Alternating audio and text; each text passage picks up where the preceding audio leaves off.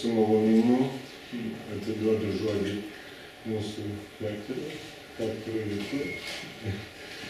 Ir prašom klausimų mūsų paskaitos. Dėkui, nu, aš jau pristatytas, tai jau papildomai čia, kaip sakome, apie tokių jau biurokratinių, įmatrikulinių dalykų jau, jau negryšiu, kas aš čia toks esu, iš kur ir taip toliau. Tai gal tik trumpai. Gal tik trumpai, e, reiškia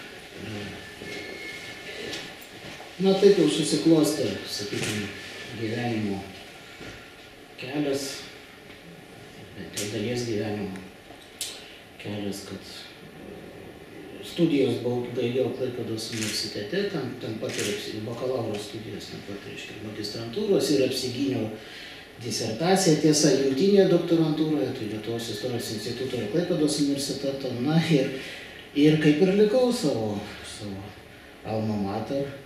Klaipėdos universitete, darbuojasi Baltijos regionų istorijos ir archeologijos institute.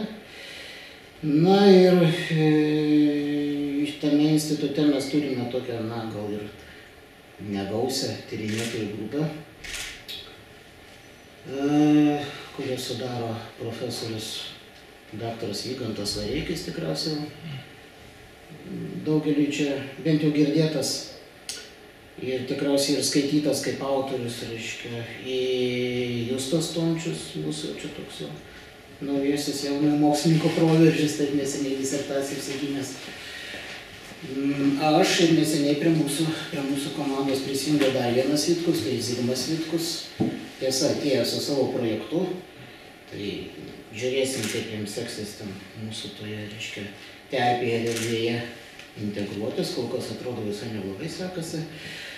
Tai va, ir, ir mūsų grupė, na, taip sakykime, davė savo tyrimų, e, bent jau bando brėžti, nu, tokių, tokių, reiškia, rėžių, kai vokiečiai pasakytų cezūrą padaryti tokią, taip, reiškia, vis dėlto skirti, skirti tam tikrų religinių, tautinių bendruomenių Klaipėdos krašte, istorijai, kultūrai, istorinėms kultūrinėms samplaudoms, socialinėms įvairiausiam ypatybėm. Na ir žydai čia žinoma neišimtis, be abejonės. Nors iš karto turiu pastebėti, kad e, bent jau mano nuomonė, čia galim sutikti, galim nesutikti, mano nuomonė vis dėlto žydų istorijos Klaipėdoje, o tam tikrais, reiškia, istoriniais kontekstais vertinant ir periodais tikriausiai jau ir Klaipėdos žydų istorija vis dėlto yra labai mažai čiupinėta. Visada taip, mokslininkai visada taip sako, labai mažai tyrinėta, čiupinėta. Nu, na, galbūt taip, bet, bet iš kitos pusės, na, aš taip sakau, yra, yra tos, reiškia, medžiagos galbūt, rašytinės, tekstinės medžiagos, mes jas turime nemažai, faktografijos nemažai, bet, bet gylio trūksta. Trūksta, mano supratimu, trūksta tam tikro gylio leidžiančio panirti į tam tikrus kultūrinius, socialinius procesus, politinius taip pat. Na ir kitas dalykas, tas atreiškia, aš ir bandžiau čia for, formuluodamas paskaitos pavadinimą, temą, šiek tiek suintriguoti, tą įvesti, reiškia, memeliudin, memeliudin savoką, kuri pasauliniu mastu vis dėlto dar yra neišnykusi. E, Ir tai susiję ne tik su, sakykime, tam tikromis žydų bendruomenėmis, nors aš galbūt per drąsiai sakau, kokios tos žydų bendruomenės šiandieninėje Vokietijoje. Tai, tai čia reikia tikriausiai labai atsargiai minėti. Bet pati sauka jie yra gyva. Tas nemeliūdėl kaip tam tikras atmintis, kaip tam tikra tokia, reiškia, tam tikros patirties, generacijų žmonių apjungianti tam tikra tokia bendra vieta. Memelis. Memeli.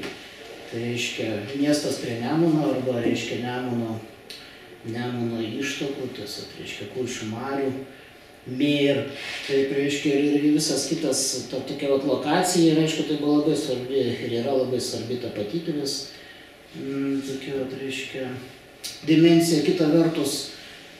Na ir šiandieną, šiandieną galbūt ir mažiau, bet vat,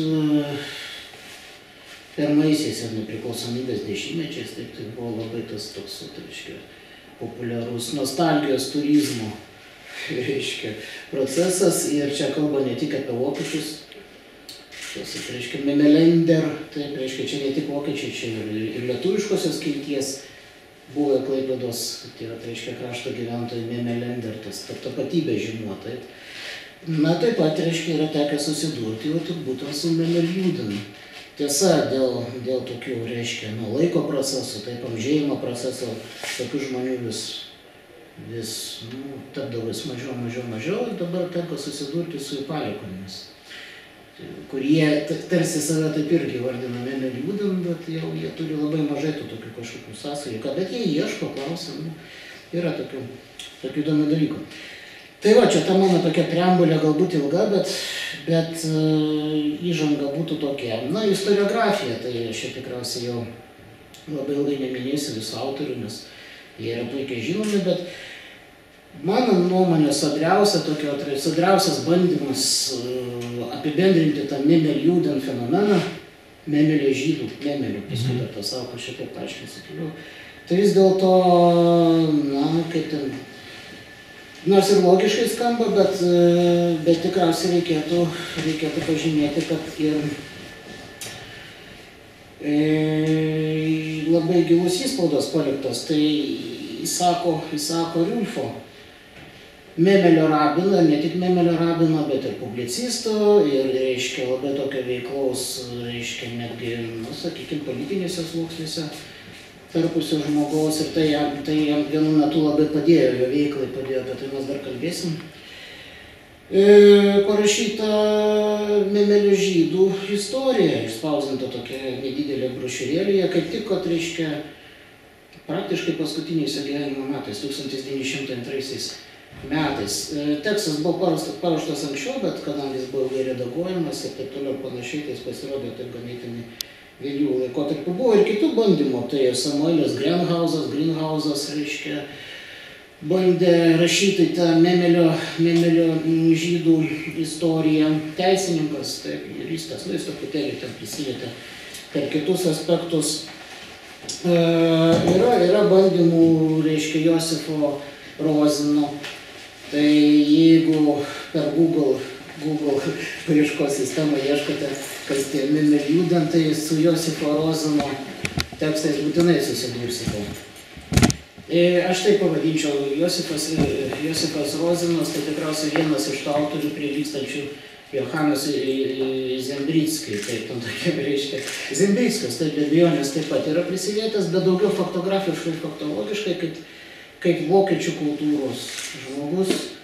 Na, jis ten kai kurios dalykus galbūt netaip giliai suvokė, bet bent jau tai, mm, kad jūs juos palėtė, tai irgi yra tam tikras ženklas, kad tai reiškia Memelio gyventojų visuomenė nebuvo tokia jau labai ten susiskaldžiusi, kas tokias, reiškia, atskiras grupės, taip ir ne, nu, tarsi neturėjo kažkokių sambūrių, bendrų sambūrių taškų.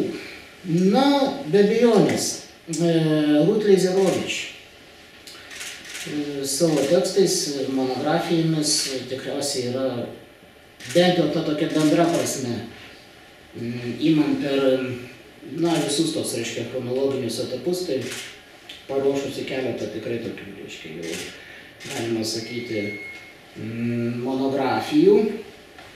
Vieną jų netgi galima būtų įvardinti studiją, tai Dišabat Leuchter, reiškia, į Kriegerverein in Memeland, tai reiškia Šabato žvakė, šabatimo, Šabato žvakė, žydų bendruomenė Klaipėdos karo veteranų bendruomenė Klaipėdos krašte, susijęs su pirmo pasaulinio karo veteranais žydais. Nu, įmama truputėlį per tą vokišką aspektą, bet iš esmės tai yra Memelio žydų bendruomenės istorija. Na ir kiti jos tekstai, ypač ypač toks puikus tekstas apie Šmugelio, Šmugelį, reiškia tą fenomeną, tai paribio, paribio vienas iš bruožų, tai kur žydai užėmė, na taip, neslėpkim, žydų, sakykime, ten buvo labai toksai žemgus, toks taip, tai žiūrėjau, elementas. Na, va, Sados Petružienės darbas apie Klaipėdos žydų bendruomenę Martino Purvino,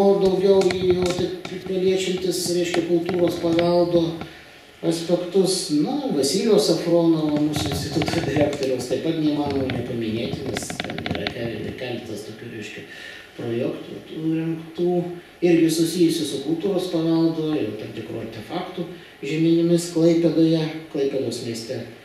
Apie Klaipėdos kraštą čia šiek tiek plačiau reikėtų kalbėti. Robertas Straba, Vygantas Vareikis jau minėtas, Jachimas Tauberis, na ir daugelis, daugelis kitų. Tai va, fotografiniu požiūriu tikrai istoriografija yra, yra, tai galim faktą konstatuoti, bet to, to gylio galbūt to reiškia.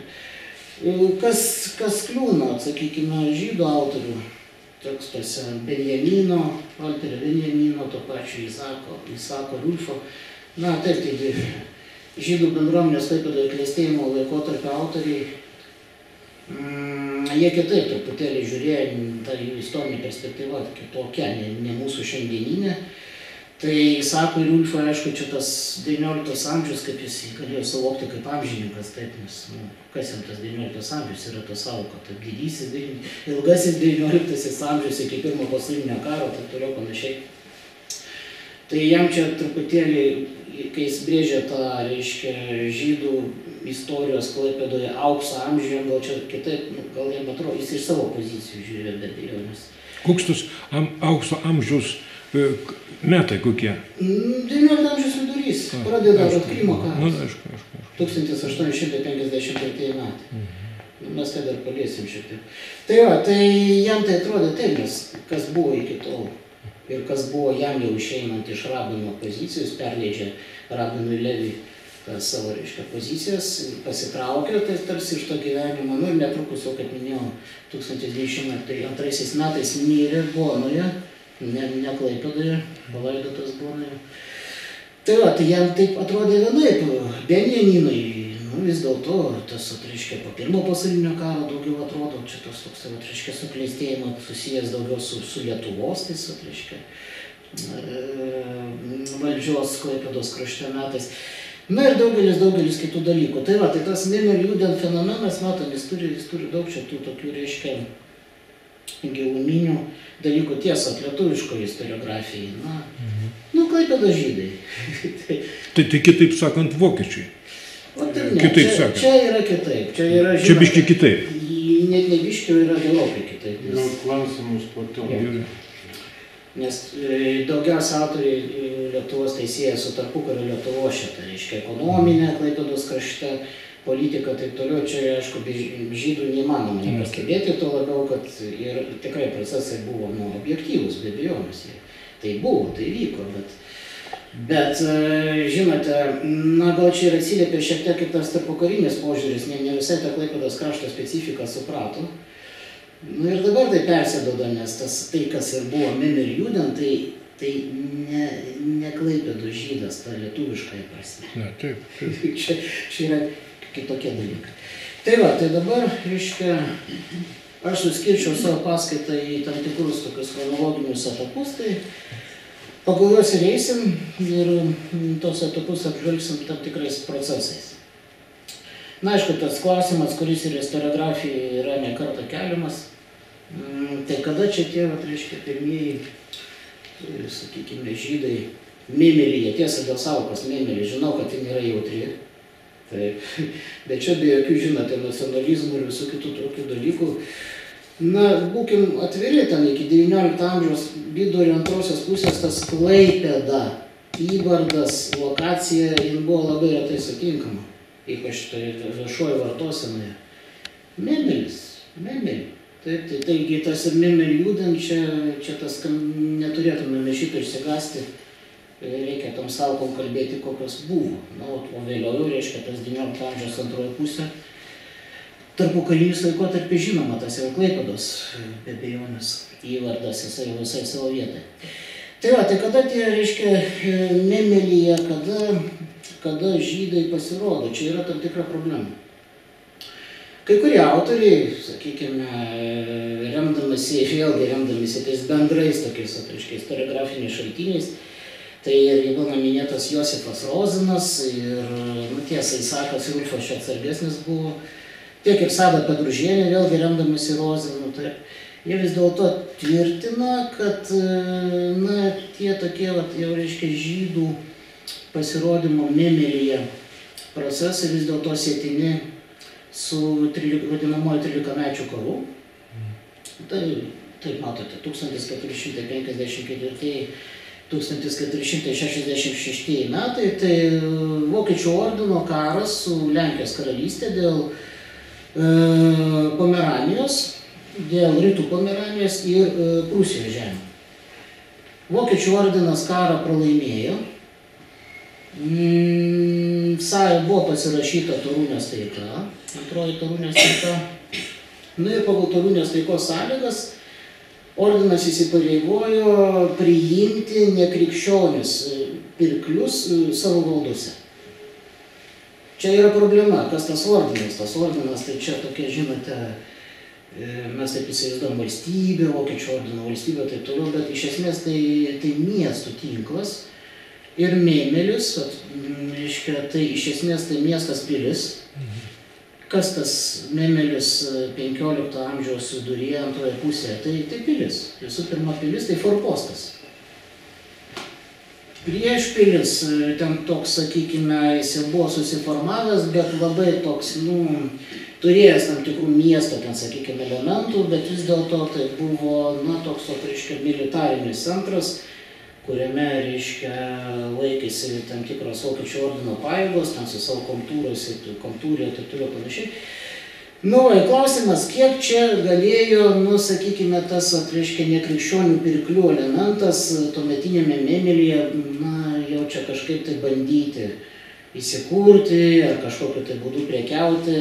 Klausimas labai bejotinas. Bet yra, yra tam tikrų, aš esu irgi tokių matęs darbų, tyrimų, kur, na, keliama versija, kad vis dėlto buvo aktualu, keliaujantiem Memelis buvo aktualus toks, reiškia, punktas mm, sustoti, reiškia, keliaujantiems iš Livonijos į Karaliaučių. Tai va, e, čia tikriausiai susiję procesai ne tiek, kaip dalis autorių teigia, su, sakykime, iš Lietuvos didžiosios kunigaikštystės keliaujantiems žydams čia kažkaip tai kažkur prekiauti, ten toliau eiti, reiškia, tą vokiečių ordino teritorijos ir vakarų Europos, tai, bet tikriausiai čia yra kiti dalykai, tai, reiškia, iš Livonijos į, reiškia, Karaliaučių.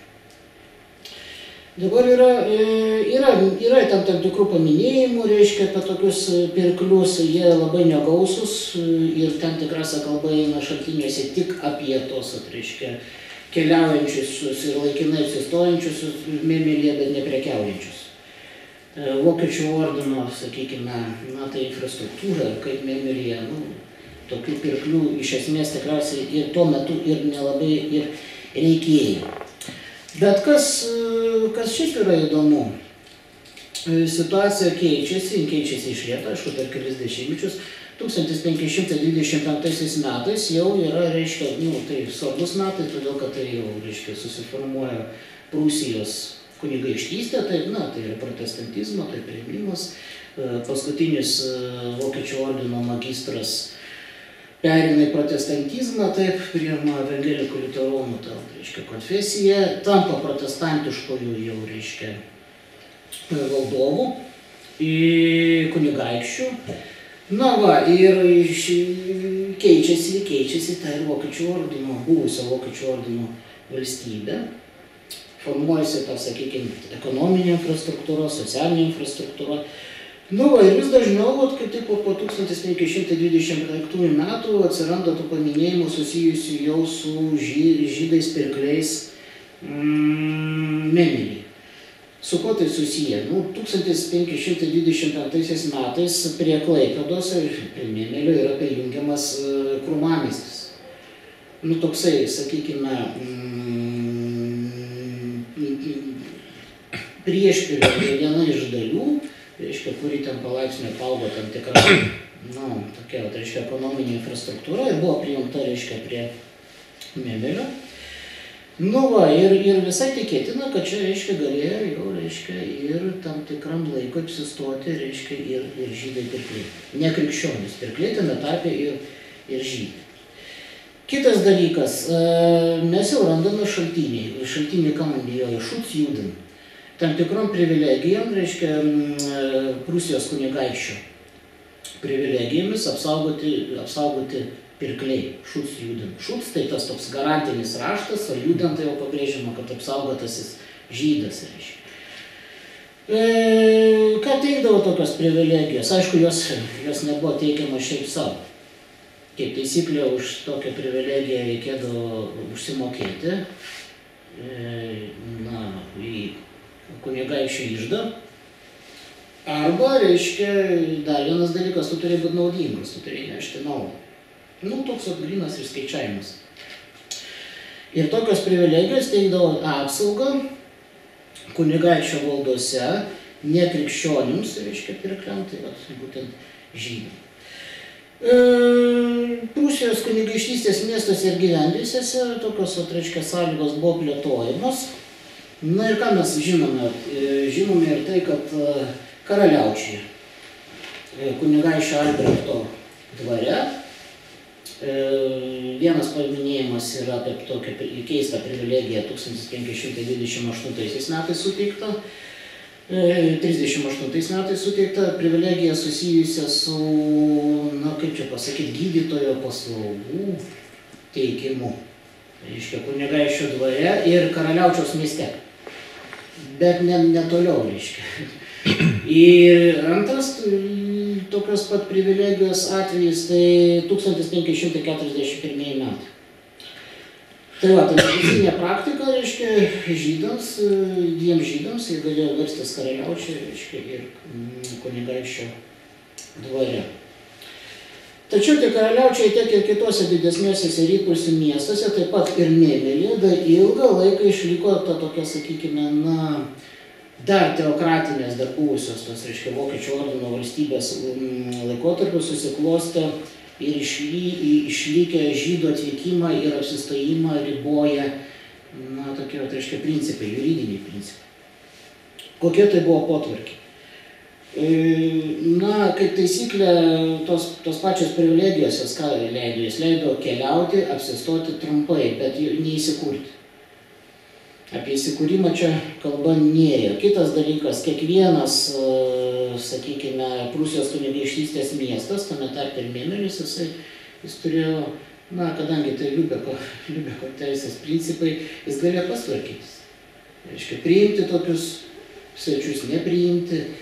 Ir čia galėjo labai daug tokių dalykų nulemti, ne tik ekonominiai skaičiavimai, bet ir kažkokie tai, nu, neslėpkim, tie patys religiniai protestantiškoje sistemoje tengi ne viskas taip buvo laisva ir liberalu, netgi atvirkščiai. Tikriausiai, kad katalikiškoje Lietuvos didžiojo kunigaikštystėje. Galbūt kai kurie dalykai buvo, nors irgi mes žinom tą toleravimo ar netoleravimo principus. Va, kitas dalykas, e, yra ir kiti dalykai, nu tokie, o reiškia faktai, kurie mums byloja, kad tikriausiai, na, ne visai tų ribojimų buvo paisoma, nes e, kunigaikščio Albrechto įsakas 1567 metais balandžio 20 dieną, 20 dieną pasirodęs, kad tas įsakas nurodė, kad visiems žydams per 21 dieną palikti, reiškia, Prūsijos kunigaikštystės teritoriją. Tai va, tai kitaip tariant išsikraustyti ir krikščionims nepaisant luomo buvo uždrausta, reiškia, e, bendrauti, prekiauti, leisti apsinakvindinti, reiškia tokiem, reiškia kelioninkam. Na va, ir, ir šitas įsakas lietė visus, reiškia, Prūsijos kunigaikštystės miestus ir gyvenvietes.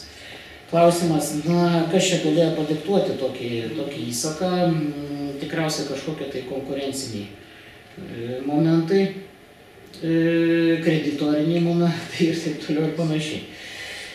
E, Vykdėto įsako nuostatos buvo sušvelnintos, dalinai sušvelnint- sušvelnintos 1581 metais, paskelbus ediktą leidusi, leidusi žydams prekiauti mūgėse ir ilgesniam laiko apsistoti Prūsijos kunigaikštystės miestuose.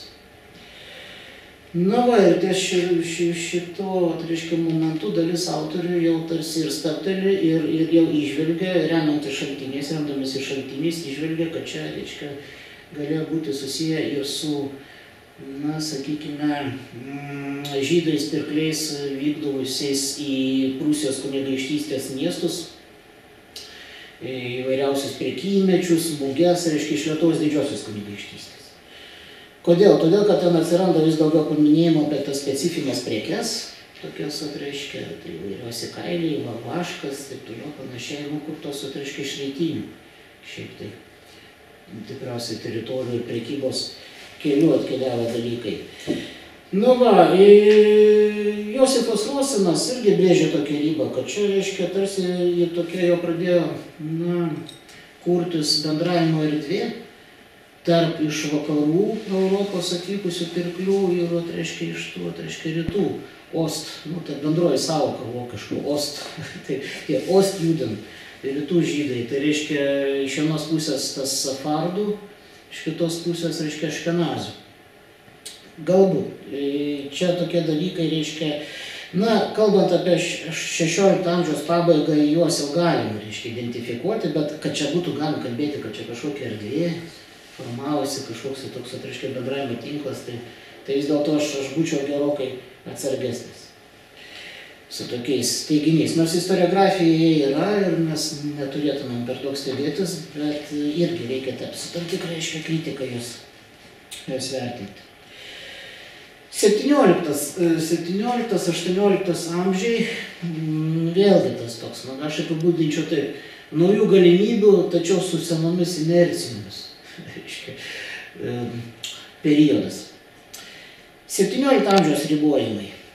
Vėlgi, 17 amžiaus pradžioje ribojimai e, žydams Prūsijos kunigaikštystėje vėl buvo atnaujinti. Ir tie ribojimai vėlgi buvo susijęs su viena vertus ribojimais prekiauti, antra vertus ribojimais apsistoti. Keliauti prašom. reiškia. Galite kirsti, tai reiškia miesto ribas, teritorijas, bet apsistoti draudimai. Prekiauti irgi, kaip tas prekiavimas ten, nu, įvedant įvairiausius ten papildomus mokesčius, tas vadinamas judensol, kaip tik be, be priekymečiais e, mūgėse ir turguose taikytų specialiųjų, to, tai reiškia, mokesčių, netgi atskirų tokių būtinių sistemų, svorio mato apmokestinimai taip toliau panašiai. Žydam dar buvo taikomi papildomi. Reiškia, ir čia, nu, matom, kaip, kaip vis dėlto stengtasi kažkaip tai va, tą, tai reiškia, prekybą riboti, bet kita vertus, tai ne tik riboti, bet ir pasipelnyti. Čia ne visada ribojimas, šiaip pasipelnimas, jeigu tas pirklys gali sumokėti, tai kodėl nuo jo ne, negalima nuimti, remintis to, kad jis nekrikščionis. tai, taigi visai tai įmanomi dalykai. Memelis, o čia va, 1613 metais matome kokį dalyką, kad Memelėje, kaip ir kitose Prūsijos kunigaikštystės miestuose, žydams buvo draudžiama pasilikti ir prekiauti sekmadieniais. Nu va, ir, mm, nu, dalis autorių teigia, kad vis dėlto, reiškia, šeštadieniais nebuvo draudžiama, bet šeštadieniais negalim prekiauti, kadangi šabas. Nu, va, vėl, vėl problema. Kaip ir tas, reiškia, penktadienį, reiškia, žydai, jeigu jau atvykdavo Memelė, turėdavo penktadienį jau viskas vakare lyja, šabas prasideda, šeštadienį vakare turi iškeliauti ir būtinai jau iki sekmadienio turi iškeliauti. Na ir susiklostė Memelė tokias įdomi nu, veiklos, toks, vat, reiškia, arba gyvenimo, na, papročių tai nepavadinsi, bet Memelėje draudžiama apsistoti, bet už Memelio ribų nedraudžiama. Ir tokiu būdu, reiškia, tie dalis tų, vat, reiškia, pirklių žydų vis dėlto laviravo ir jie, jie išlaukdavo tą draudimo laikotarpį už Memelio ribų, o toliau, reiškia, grįždavo ir, ir prekiaudavo. Na, vėlgi, bandant kažkaip tai pažaboti tos tokius, reiškia, dalykus, krikščionims buvo uždrausta sekmadieniais su žydais turėti bet kokių kontaktų. Kaip įdomu. Jeigu toks draudimas atsiranda, tai reiškia, buvo tie kontaktai. Taip, nepaisant tų draudimų, reiškia, vis dėlto dalis likdavo pirklių. Taip, ir jie toliau tam palaikydavo tos, reiškia, verslo kontaktus, kažkokie ten kultūriniai saitai ir taip toliau panašiai. Kas galėjo būti suinteresuoti? Na, dalis autorių teigia, kad čia labiausiai galėjo būti suinteresuoti dvasininkai. Nu, logiška, taip. Kitas dalykas, e, 17 amžiaus pradžioje Nemelis vis dėlto pilnas jau ir tų krikščionių pirklių ne, ne iš Prūsijos kunigaikštystės. Tai reiškia Niderlandų, jau ten pas, toks, reiškia, pirklių tinklaveika jau gana pastebima, ganėtinai pastebima. škotų, reiškia, jau ten netgi bendruomenė formuojasi pamažu, bet jau tokie, nu, konkurentų nelabai tokiai terpiai, nelabai tokiai terpiai įveikia. Vietiniai pirkliai buvo priversti rungtis ir, ir, ir, reiškia, ir su anglų pirkliais, į kurį visos šios grupės, aišku, stengiasi užsitikrinti kažkokias tai išskirtinės sąlygas. Na ir žydai, konkurentai žydai čia, žinoma, na, nelabai buvo pageidaujami. Situacija pradėjo keistis, pastebimai pradėjo keistis 1643 metais, kai atvykusiems į penktadienio turgus žydų pirkliams, pirkliams žydams, Mebrėje buvo leidžiama pasilikti ir šabo dienomis, reiškia, tačiau sekmadienį jie turėjo būtinai išvykti, o krikščioniams, reiškia, vėlgi uždraudžiama su jais bendrauti, vėlgi matom tą pakartotą, taip reiškia, kompleksą draudimų ir, ir kurie rodo, kad vis dėlto vis dėlto tie draudimai tik patvirtina faktą. Numatyta ir bauda. Šimtas guldinų. Šimtas vengriškų guldinų. Na, toks nemaža suma, bet pakeliama suma. Reiškia, vėlgi atsargiai, atsargiai vertinam, kad būtų galima, reiškia, papildyti, reiškia, miesto išdą, bet per daug ir nenuskriaudžiant abiejų pusę.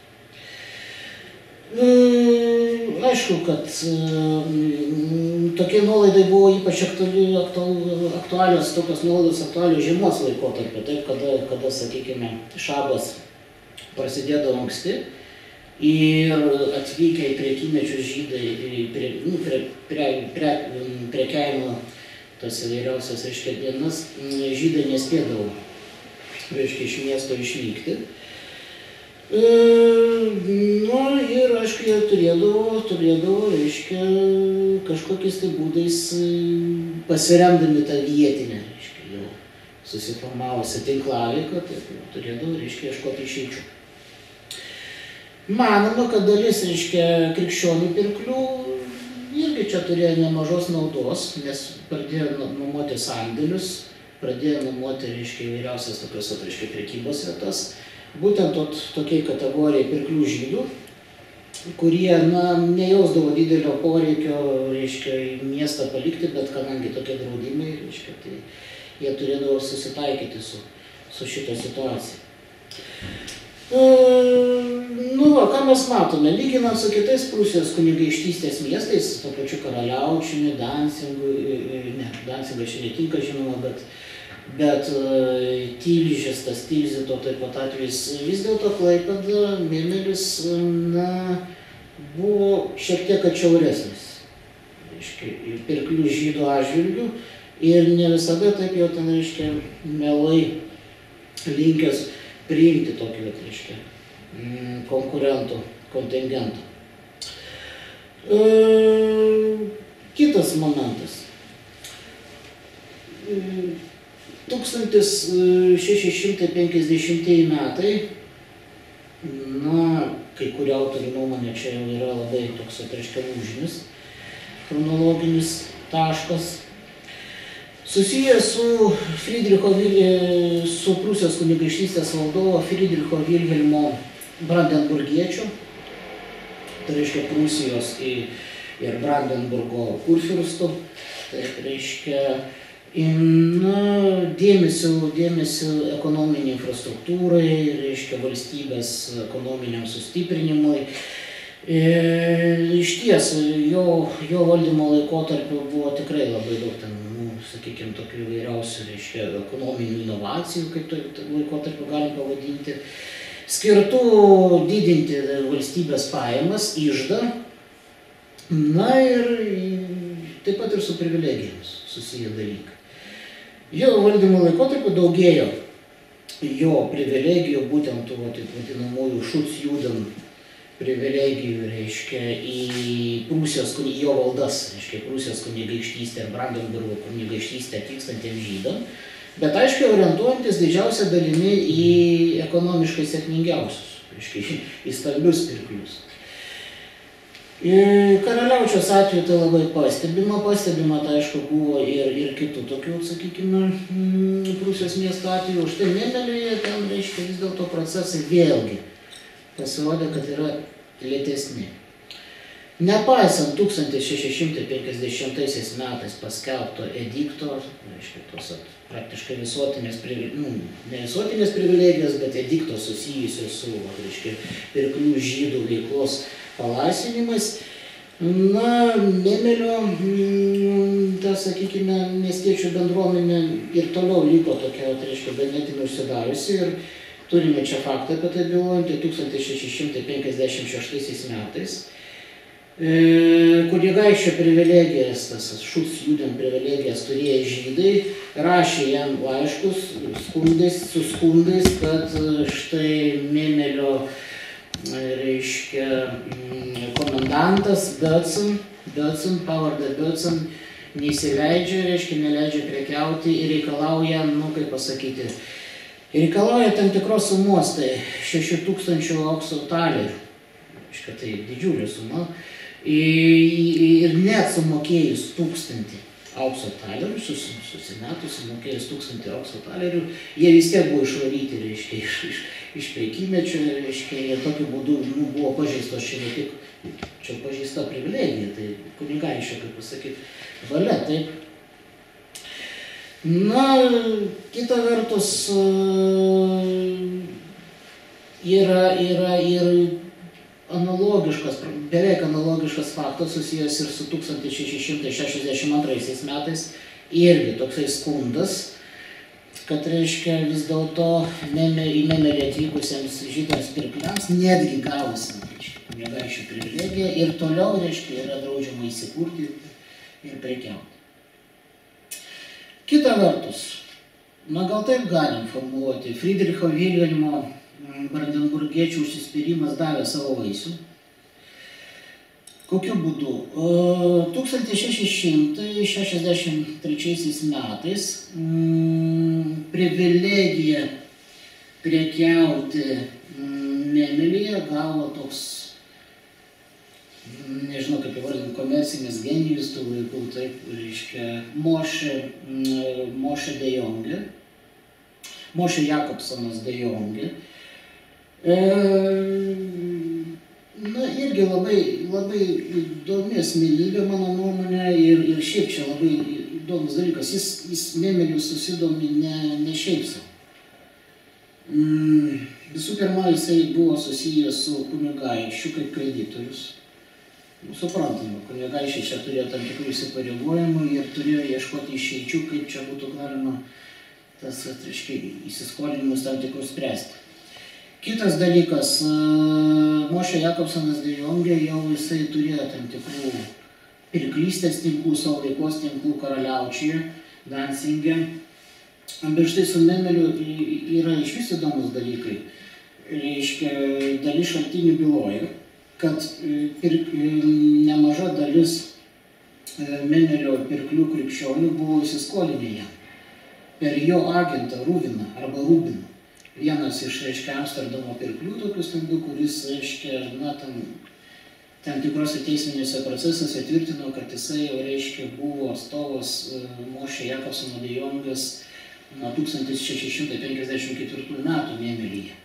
Ir tokiu būdu, reiškia, plėtėsi tas kreditorių kreditavimo tinklas ir tie jau, reiškia, pirkliai, kurie buvo įsiskolinę, Mošė Jakobsono de Jonge kreipėsi į kunigaikštį, kad, reiškia, pastarasis suformuotų tą, reiškia, tokią privilegiją šiam pirkliui, leidus, leidžiančią jam atkeliauti į Memelį, įsikurti ir čia prekiauti. Tai va, tai vėliau tiesa, jau buvo pasipylę skundai, kada, kada šis pirklys atvyksta ir gana intensyviai taip ir šiuolaikiniais terminais terminą pradeda taikyti tokią agresyvaus marketingo politiką.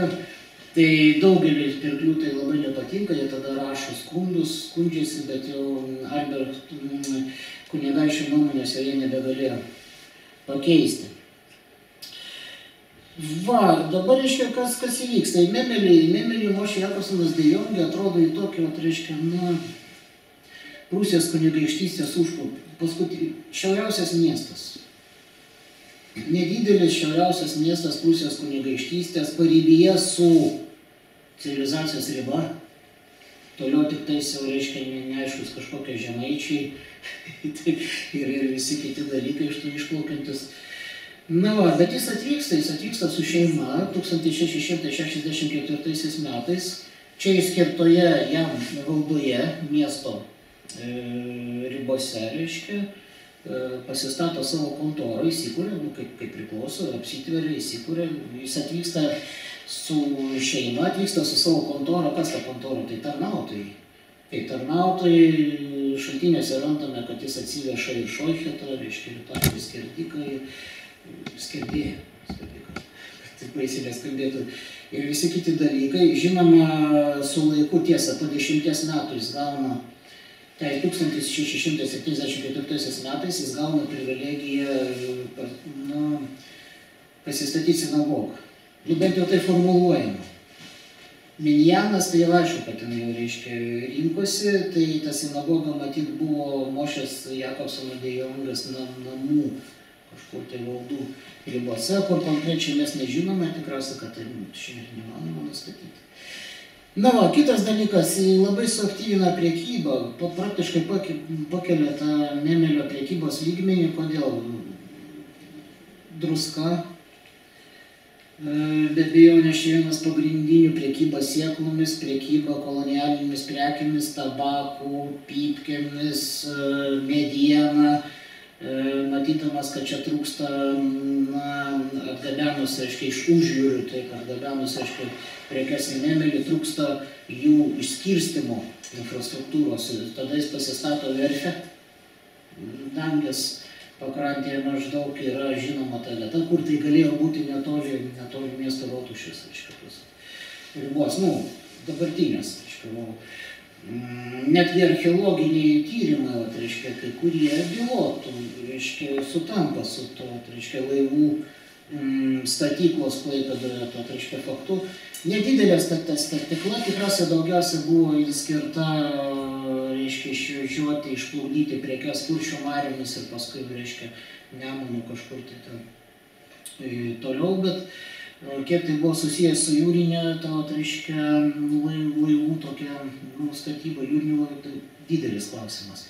Yra žinoma ir keletas laivų pavadinimų, tai reiškia, e, kunigaikštis Friedrichas ir taip toliau, nu, suprantam, nes tai, reiškia, pavaizdavimas to laivumo, tai tam tikro ir visi kiti dalykai. E, sie, kai kurie archeologiniai duomenys tarsi ir bylotų, kad matyt nebe Mošės Jakobsono dėjongės iniciatyvos Klaipėda Memelis jo pirklystės mieste metu buvo tapęs savotiškų pypkių kontrabandos centrų, olandiškų tokių, tai reiškia, iš kaulo, tokios kaulo masės mm, gamintos pypkės ir tengi buvo, nu, tai ten, žinote, labai rimta patentų sistema, tai toliau jos buvo brangus ir jas buvo labai saugomas, bet, bet čia, reiškia, buvo rastos tam tikros išeitis, tam tie falsifikuoti spaudai ir taip toliau. E, Klaipėdoje kasinėjimų metu, tai labai dažnai yra randama tokių, reiškia. Nu čia Ato Žvirblio disertacija, tikriausiai gal, gal esate susidūrę, irgi tarsi tie duomenys archeologiniai, kaip yra interpretuojami, jie sutampa chronologiškai. Ir, ir tai yra, nu, tai toks ganėtinai įdomus dalykas, ir tų falsifikatų, reiškia, radimasis.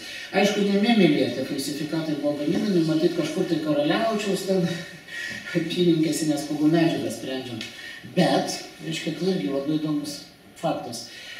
Manom, kad čia galėjo būti susiję ir su tavo, reiškia, silkių reiškia, invazija, reiškia, į Žemaitiją šiek tiek, nors aš būčiau irgi čia ganėtinai atsargus, nes man kažkaip, na, mm, su to laikotarpiu nesusišaukia, bet, bet galimai, nes kai kurie tyrimai irgi tarsi tai leistų patvirtinti, bet tikriausiai, kad silkiam atkeliauti turiu galvoj sūdytom, tam, reiškia, silkėm atkeliauti į, į, į Žemaitiją, į, kaip ir Lietuvos didžiosios kunigaikštystės, tas, sakykime, kitus regionus ir teritorijas, buvo ir kitų kelių. Čia tas mėmelio tikriausiai faktorius nebuvo šiuo atžvilgiu lemintis. Va, bet kas yra, kas yra įdomu? O, Mošės Jakobsono dejongas gyvenimo laikotarpių, pirklystės Nemelio laikotarpiu Nemelis atsiranda kaip tam tikras prekybos centras žemėlapiuose, sakykime. Tiesiog, tai reiškia, jūriniuose žemėlapiuose, laivavedžių žemėlapiuose, ten reiškia, kaip nukeliauti, kaip nuplaukti tą kelažinę, ten reiškia, e, laivybą, tai toliau, tai irgi susiję ir labai įdomus dalykai. Nu, va, e, sūnus, Mošas Jakobsono Jongio sūnus taip pat gavo privilegiją, tačiau tai buvo tokia įdomi privilegija. Jis gavo ne atskirą privilegiją, bet praplėstą savo tėvų privilegiją. Praplėsta privilegija tik tai reiškia sūnų. Ir tokiu būdu tarsi tą verslo modelį sujėjant kaip ir vieną, vien, vienos įmonės, bet reiškia mm, atskiriam asmenim. Tai va 1677 metais e, Jakobas de Jongė reiškia, gauna privilegiją ir taip pat imasi verslo Memelyje, tačiau specifinio verslo, farmacinio. Reiškia, atidaro pirmąją vaistinę, jeigu taip galima įvardinti. Tokį, reiškia, verslą pradeda Memelyje. E, sunkiai jam šitas verslas sekėsi, greitai jis pajuto vietinių, reiškia, pirklių konkurencija buvo, buvo tiesiog priversas susitaikė situaciją, situaciją pardavė savo, reiškia, šitą įmonę, vien, kaip manoma, vienam iš Nemerio žolininkų, kuris, reiškia, vietoje jos įsteigė, reiškia, tą garsiąją juodoje erelio vaistinę. Gerai jau čia žinomas pavadinimas, tas, reiškia, juodoje erelio netgi provaizdis tam tikras išlikas. Va, Mošius Jakobsono Dejongė verslas, na, aišku, tai turint, turint omenyje 18 amžiaus specifiką, mm, susidūrė su tam tikrom, reiškia, rizikom, visada tai buvo rizikingi dalykai, stambus sandoriai. Ką jie, stambus sandoriai siūlė didelius pelnus, bet galėjo, reiškia, ir na, grėsti dideliais nuostoliais. Na ir 1696 metais nepavyko jam sudarė, reiškia, sandorį mm, druskos, reiškia, rinkoje ir, ir reiškia, na, nesėkmingai susiklostė metai. E, vietoj, vietoj to tikėto, reiškia, pelno vis dėlto jam teko bankrutuoti ir, reiškia, Mošė Jakobsonas Dejongė tokiu būdu, reiškia, savo verslo Memelyje baigė. Jis ten, reiškia, išvyksta į karaliaučių, tarsi ir bando tęsti karaliaučioje veiklą. 1715 metais jis mirė, bet Memelyje lieka jo sūnus, lieka, reiškia, jo našlė, lieka dukra, lieka jo, reiškia, žentas ir, ir tarsi tas verslas ir toliau, reiškia, tęsiasi. E, yra žinoma, kad jo našlė tęsė tą, tai reiškia, medienos, tokį verslą, nu, atklaipėda visada susijusi su to, tai reiškia, medienos verslu ir išliko tarsi tam tikras tas toks, tai reiškia, verslo e, modelio inercija. Nu, va, e, kas yra įdomu?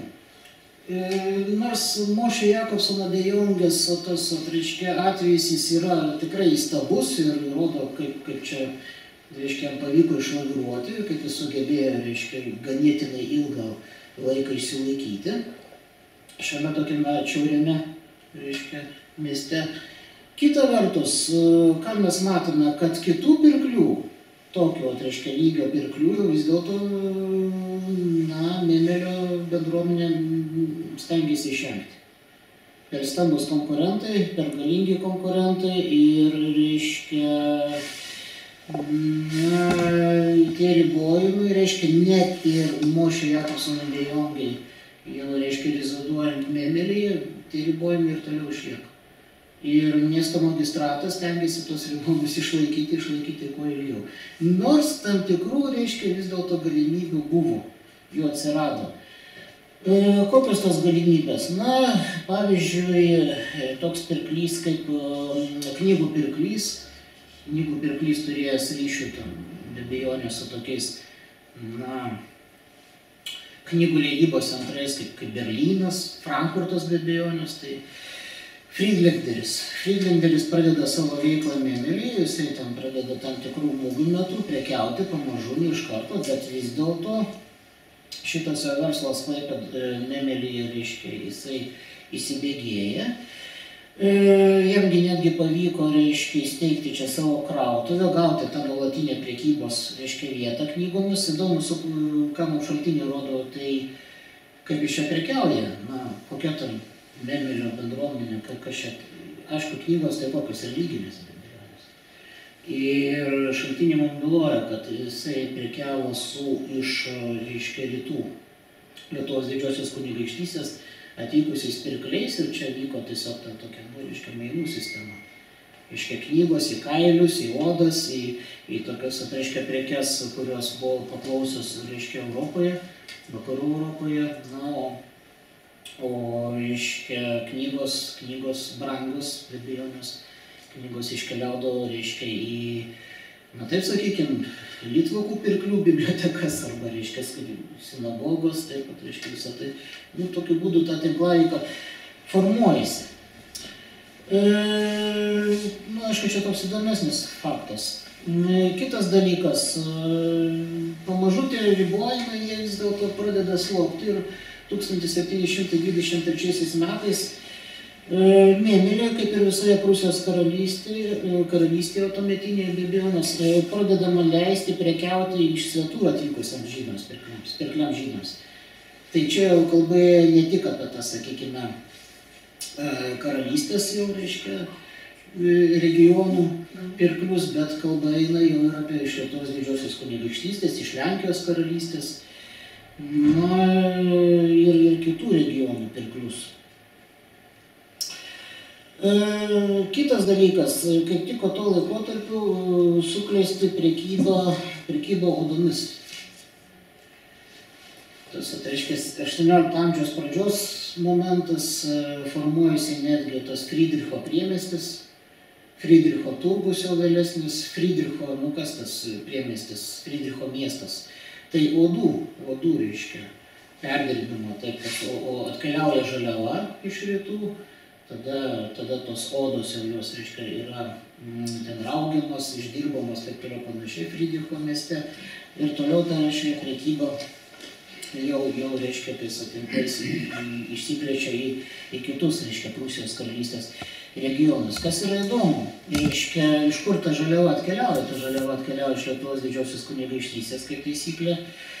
Ir čia, reiškia, vietiniai pirkliai, odininkai, jie, jie pajunta greitai tą ekonominę naudą ir jie suinteresuoti, kad žydai pirkliai, kurie prekiauja odomis, jau pasiliktų mėmelyje ilgiau. Reiškia, kad jie neiškeliautų, reiškia, karaliaučius, dansai, batinžius ir taip toliau, toliau tos, reiškia, odų turgus, bet išliktų mėmelyje, reiškia, ilgiau, kad būtų galima numušti odų kainą, kad būtų galima, nu, kitaip tariant, irgi pasipelnyti. Ir tada jau pradedame įvedinėti, reiškia, draudimai kokie, kad e, žydams pirkliams e, likti mieste leidžiama net trumpiau trijų dienų. Jie turi tris dienas ir ilgiau užbūti. Reiškia, kad būtų galima, reiškia, visą šitą. Ir netgi neįskaitant šabo, neįskaitant visų ten krikščioniškų švenčių, tai rodo, kaip tas ekonominis interesas jisai formuoja tam tikrus, reiškia, santykius.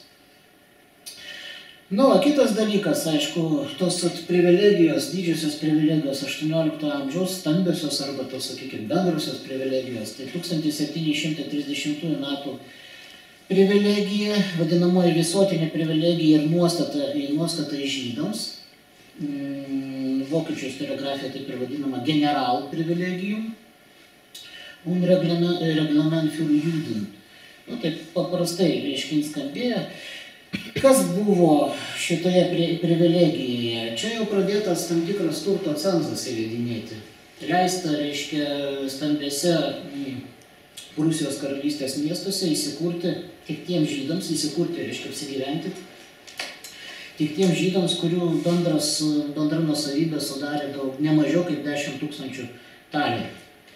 Nu, va, jau matom, kad čia pamažu tokie, reiškia, jau pradedami e, procesų reiškiniai pradedami tarsi riboti, tam, įvedant tam tikrus sensus. Tai nereiškia, kad negalime ir likusiesiam įsikurti, bet, bet atsiranda e, po 20 metų, 1750 metais, E, balandžio 17 dieną paskelbiama dar viena privilegija, privilegija vadinamoji peržiūrėta visuotinė privilegija ir nuostatai Prūsijos žydams, Prūsijos žemių žydams, kuri praplėtė turtingųjų žydų ir susiaurino nepasiturinčių žydų teisės.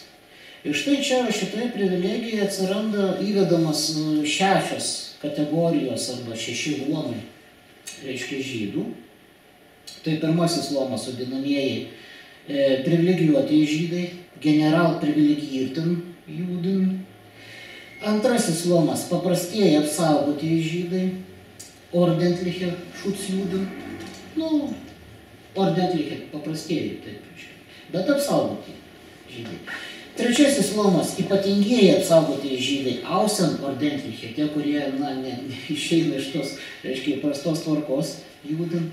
Ketvirtasis lomas - rabinai, kantoriai, bendruomenių seniūnai, tarnautojai, tie vadinamieji, kaip ten, publikuojami judischen bedintin, publikuojami judischen bedintin, tarnautojai.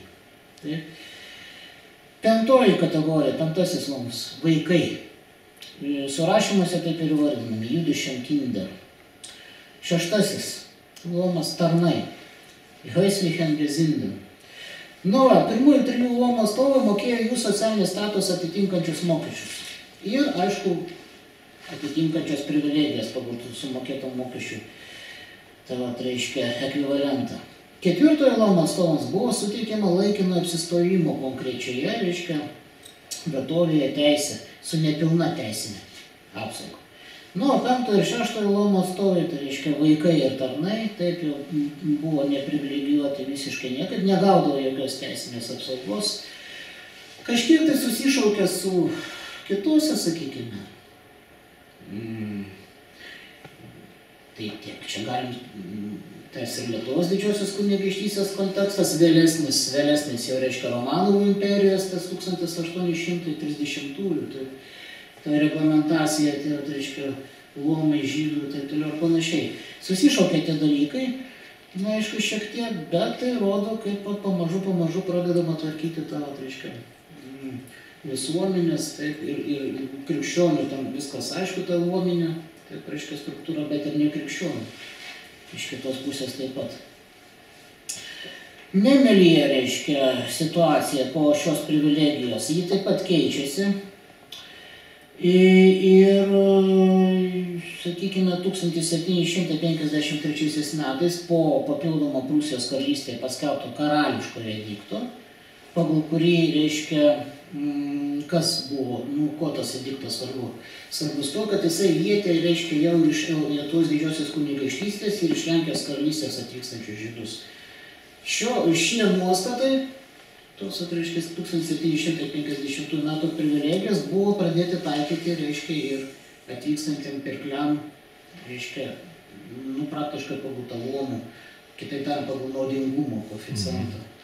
Reiškia, ir, ir, ir šios kategorijos. Reiškia, ne karaliaus, reiškia, pavaldiniams, bet taip pat, reiškia, teikiant tam tikrą apsaugą.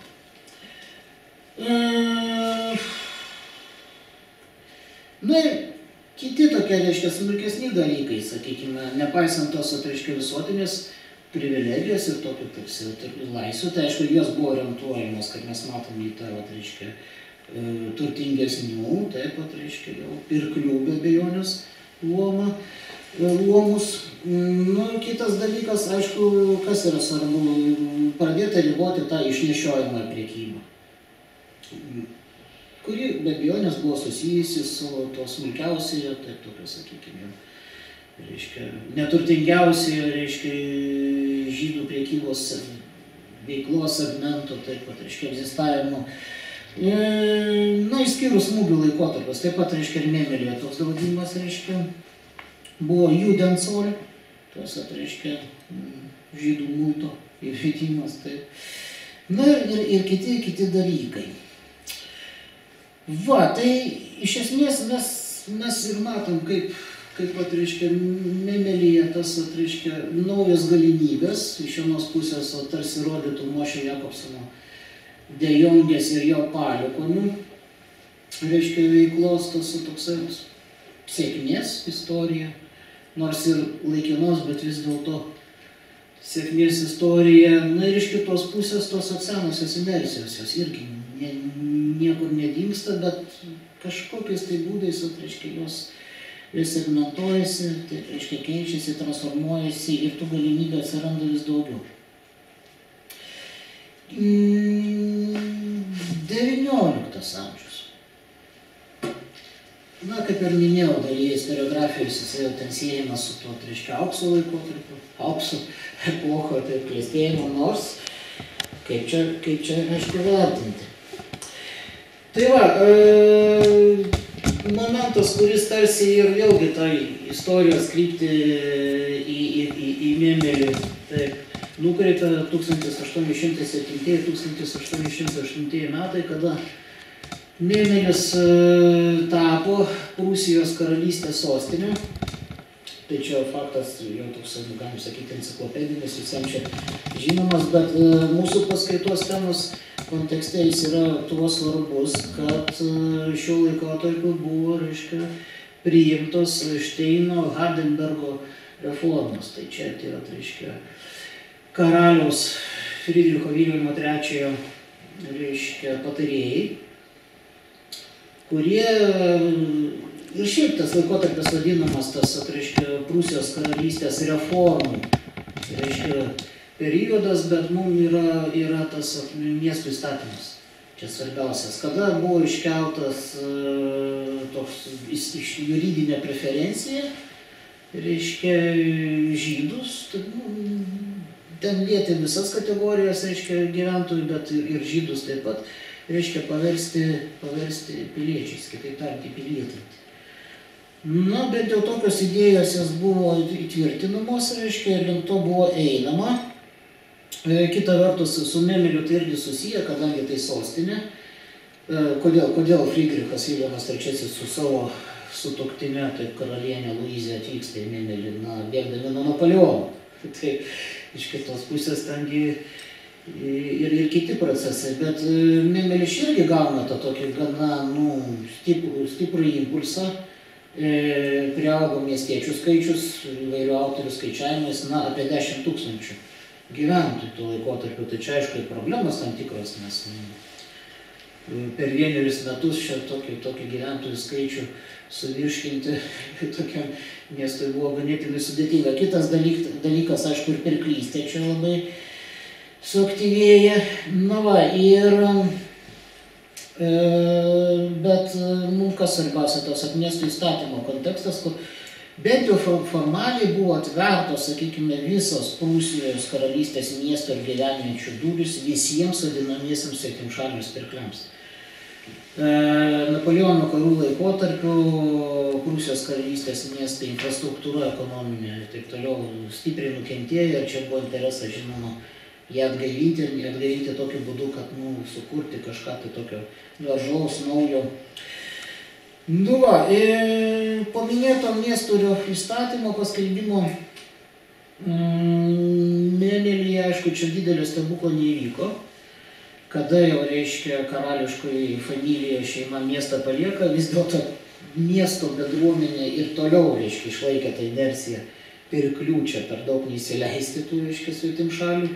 Taip ir tačiau toleruoti ir gana atveju taip jau, reiškia, palankiai toleruoti, reiškia, Prūsijos, iš Prūsijos karalystės atvykusius pirklių žydus. Ir tokiu būdu matom, kaip tavo, reiškia, na, dinamika tarsi formuojasi iš, iš tokių dviejų, reiškia, lygmenų. Prūsijos karalystės pirkliai žydai, iš kitos pusės, reiškia, iš rytų atvykę, reiškia, žydai ir, ir nebūtinai pirkliai nes Napoleono karų laikotarpiu šiek tiek buvo susijęs ir su tokiais dalykais, na, Aleksandro I įsakas, tai 1812 metai. Taip, tas žydų išvarimo, tai žydai varomi ne tik į rytus, bet dalis įbėga, reiškia, ir į vakarus, kur bėga į Prūsiją. Prūsijos karalystė ir Prūsijos karalystės pareigą miestai jie susiduria su, su šita, tokia, va, reiškia, migracija. Kitas dalykas 1820 metų, tai įsakas, kada ten, reiškia, iš pasienio miestelių, reiškia, ten įsakas, taip vėlgi žydam, žydam pasitraukti ir, ir dalis jų vėlgi į Prūsiją reiškia traukia. Ir čia vat ir Mėmelėje matom tam, tam, tam tikros šeimos netgi, vat, iš tauragės, iš telšių, iš kur. Telšiai ten jau vėlesnis laikas, bet, bet reiškia tauragės, kretingos, tie žmonės, jie, jie pasirodo. Nu va, ir 1812 metai, kovo 11 diena, emancipacijos ediktas, visuotinis, visuotinis emancipacijos ediktas, tai čia Napoleono kodekso.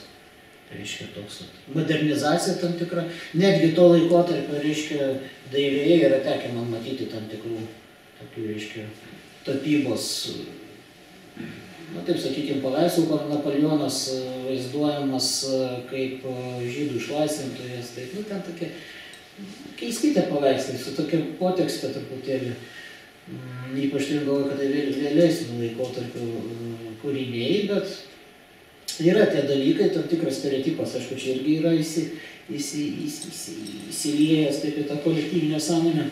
Dabar, bet emancipacijos ediktas kuo jis buvo svarbus?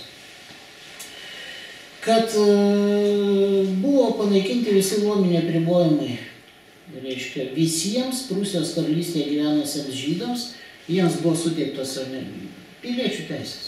Jie buvo įpilietinti. E, Kuria prasme verslo įmonių steigimo teisės, amatų teisės, judėjimo laisvės, jo- jokių šūciūdėm privilegijų nebereikia, nu, viskas. Praktiškai tokių juridinių žingsnių buvo žengiama, žengtas tas, reiškia, įpilietinimo žingsnis.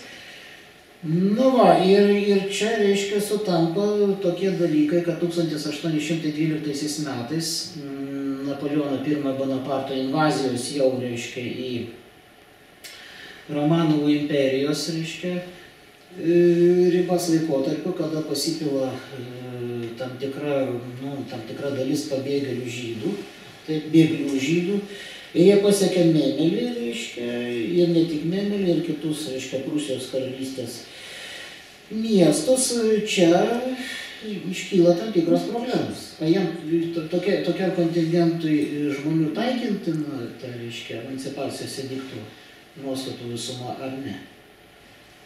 Nes jie, pagramintis, reiškia, emancipacijos edikto nuostatomis, jiegi nebuvo iki to edikto paskelbimo Prūsijos karaliaus pavaldiniai. Nors ir nekrikščionis, tai bet toli jie nebuvo, reiškia, ir čia, čia tas, va, reiškia, ta grupė vėl susiduria su tam tikru jau, reiškia, tam tikrose starto pozicijose, tam tikrų, reiškia, jau, mm, na, ne tiek ignoravimo, bet, e, nu, tokia situacija diskriminavimo. E, kitas dalykas, e, ką mes matom? Matom kontingentų išaugimą, matom dinamiką.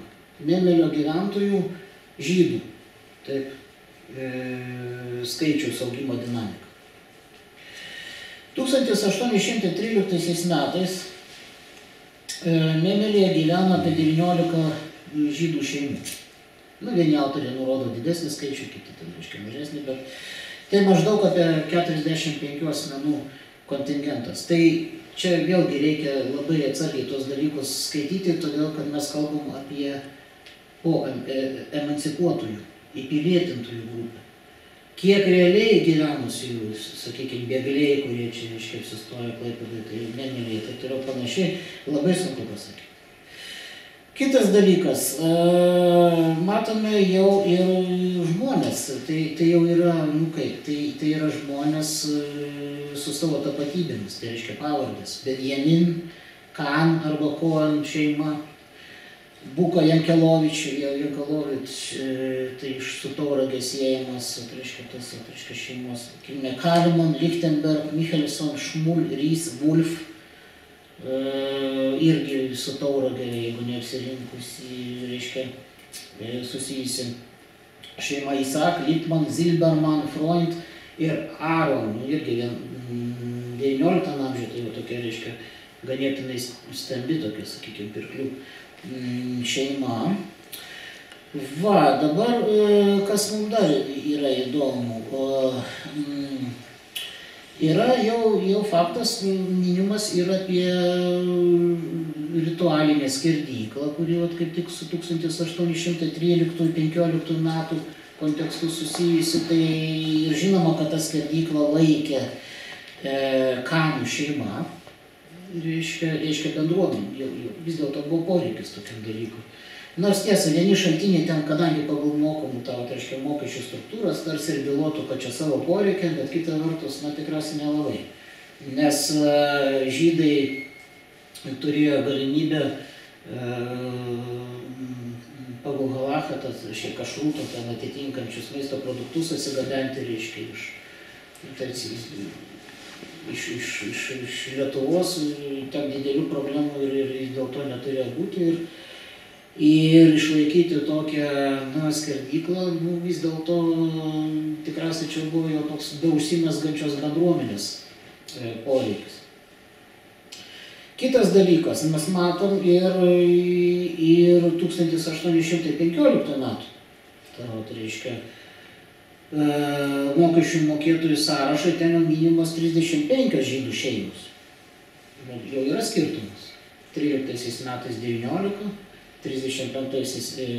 15 metais jau reiškia 35, nu, ne dvigubai, bet jau, jau beveik. Tai. E, 1829 metais, reiškia, į, į Memelį atvyksta stambus medienos pirklys Aaron Šlam Hurovic ir čia pradeda savo veiklą su sunumi Markusu. Va, ir kas yra įdomu, jam gana greitai pavyksta miestiečio teises įgyti. Mėmelio miestiečio teises 1840 metais. Tai yra gana greitai. 1829 metais atvyksta, 40 metais gauna, reiškia, teises. Nu kaip, kaip tos teisės įgyjimas, tai reiškia pagal turto cenzą, pagal mokesčius ir to dar neužtekdavo, reikėdavo tą, reiškia, atitikti nu, galim sakyti, emancipacijos edikto nuostatų reikalavimus. Nu va, ir matom, kaip tas procesas pamažu, pamažu jisai, reiškia, įsibėgėja. Kitas dalykas, kuris jau tikrai byloja apie bendruomenės, na, egzistavimo faktą, tai kapinių klausimas. E, na, Rūt Leizerovič taip, e, kelia tokią versiją, remdamėsi šaltiniais, kad kapinių klausimas Memelėje buvo svarstomas jau 1814 metais. Bet šį klausimą teko atidėti, remiantis magistrato tam tikrais įrašais, kadangi nebuvo surinkta pakankama mokesčių suma. Reikėjo išpirkti iš miesto, reikėjo išpirkti žemės tam tikrą valdą, tai valdos dalį, tai ne, ne tokie paprasti dalykai. Va, bet 1823 metų riboje, reiškia, tokios kapinės jau yra. Jos atsiranda planuose, kai jos jau kaip faktas ten egzistuoja. Reiškia, vis dėlto jau buvo surinkta tam tikra mokesčio dalis. Išpirkta, tai reiškia, būtina teritorija. 1840 metais žydų kapinių ribos buvo išplėstos. Jos jau buvo sutvarkytos, reiškia, nu kaip sutvarkytos pagal tavo, tai reiškia, reglamentacijos reiškia ne pagal tradiciją, pagal reglamentacijos nuostatus miestuose, Mėmelio mieste. Ir kas yra įdomu, 1840 e, ir 57 metų laikotarpiu, nu, toks gana ilgas tarpas, jos labai aiškias ribas įgavusios buvo apsodintos medžiais, reiškia, ir, nu, galim sakyti, tapo miesto Nors ir pareigo, e, kadangi bastiono vietoje kapinės buvo performuotos, čia stengiantis e, tokį objektą kažkur tai ten, taip, reiškia, nu, čia miesto magistrato interesas buvo, kad mm, kažkur tai paribyje, bet, bet jau vis dėlto tai įsilieja ta miesto, reiškia, struktūra. E, va, kitas dalykas, e, kuris aišku yra svarbus sinagogos. Tai čia sakykime, istorikai iki šios dienos, taip mes nelabai čia sutarėm, reiškia, dėl sinagogų Klaipėdoje, reiškia, steigimo. Žinome, kad jų buvo keturios. E, dėl chronologinių, reiškia, taškų, tai čia yra tam tikrų klausimų. Pirmoji žinoma sinagoga, žinoma sinagoga, tai nereiškia, kad ten ta vadinamoji štūbė ar taip toliau, kur galėjo minjanas rinktis, tai, tai, tai ne sinagogas. Čia kalbam apie sinagogą, kuri e, gavo e, leidimą. Reiškia, turėjo leidimą, ji buvo pastatyta, įsteigta, sutvarkyta kaip tam tikras, reiškia, objektas mieste. Tai 1835 metais Valštrasė, tai dabartinė Pylimo gatvė, įkurta sinagoga į pirklių iš Lenkijos, Mordechajevas Butski ir Meir Lipšic lėšomis mm, sinagoga įsteigta. Manoma, kad ji nebuvo pastatyta kaip kažkoks naujas pastatas, o tiesiog tai buvo pritaikytas sandėlys. Ir netgi yra tokia versija, kad galbūt e, iš šių pirklių sandėlio kažkokia tai dalis buvo skirta, reiškia, pritaikyta tokiam, tokiam reikmėm. Nieko labai daug mes apie šitą sinagogą pasakyti ir negalime, todėl kad e, jis sudegė ir sudegė, nu tikriausiai viena versija, kad e, didžiojo Klaipėdos gaisro metu 1854 metais. Kita versija tarsi ir bylotų, kad, e, reiškia, XIX amžiaus pabaigoje. Na, aš tai daugiabučio linkęs, tai, reiškia, didžiojo gaisro vis dėlto versiją palaikyti. Kodėl? Todėl, kad yra minima 1874 metais sinagoga, ne, kaip teigiama toje pačioje vietoje, jau pastatyta, reiškia, tai jeigu būtų pabaiga, tai ne, nebūtų buvę kur statyti. Tai, ir ši sinagoga, ji turėjo netgi savo tą įvardą, miestiečiai vadina Poliam Šul, Lenkų sinagoga, žydų. Taip.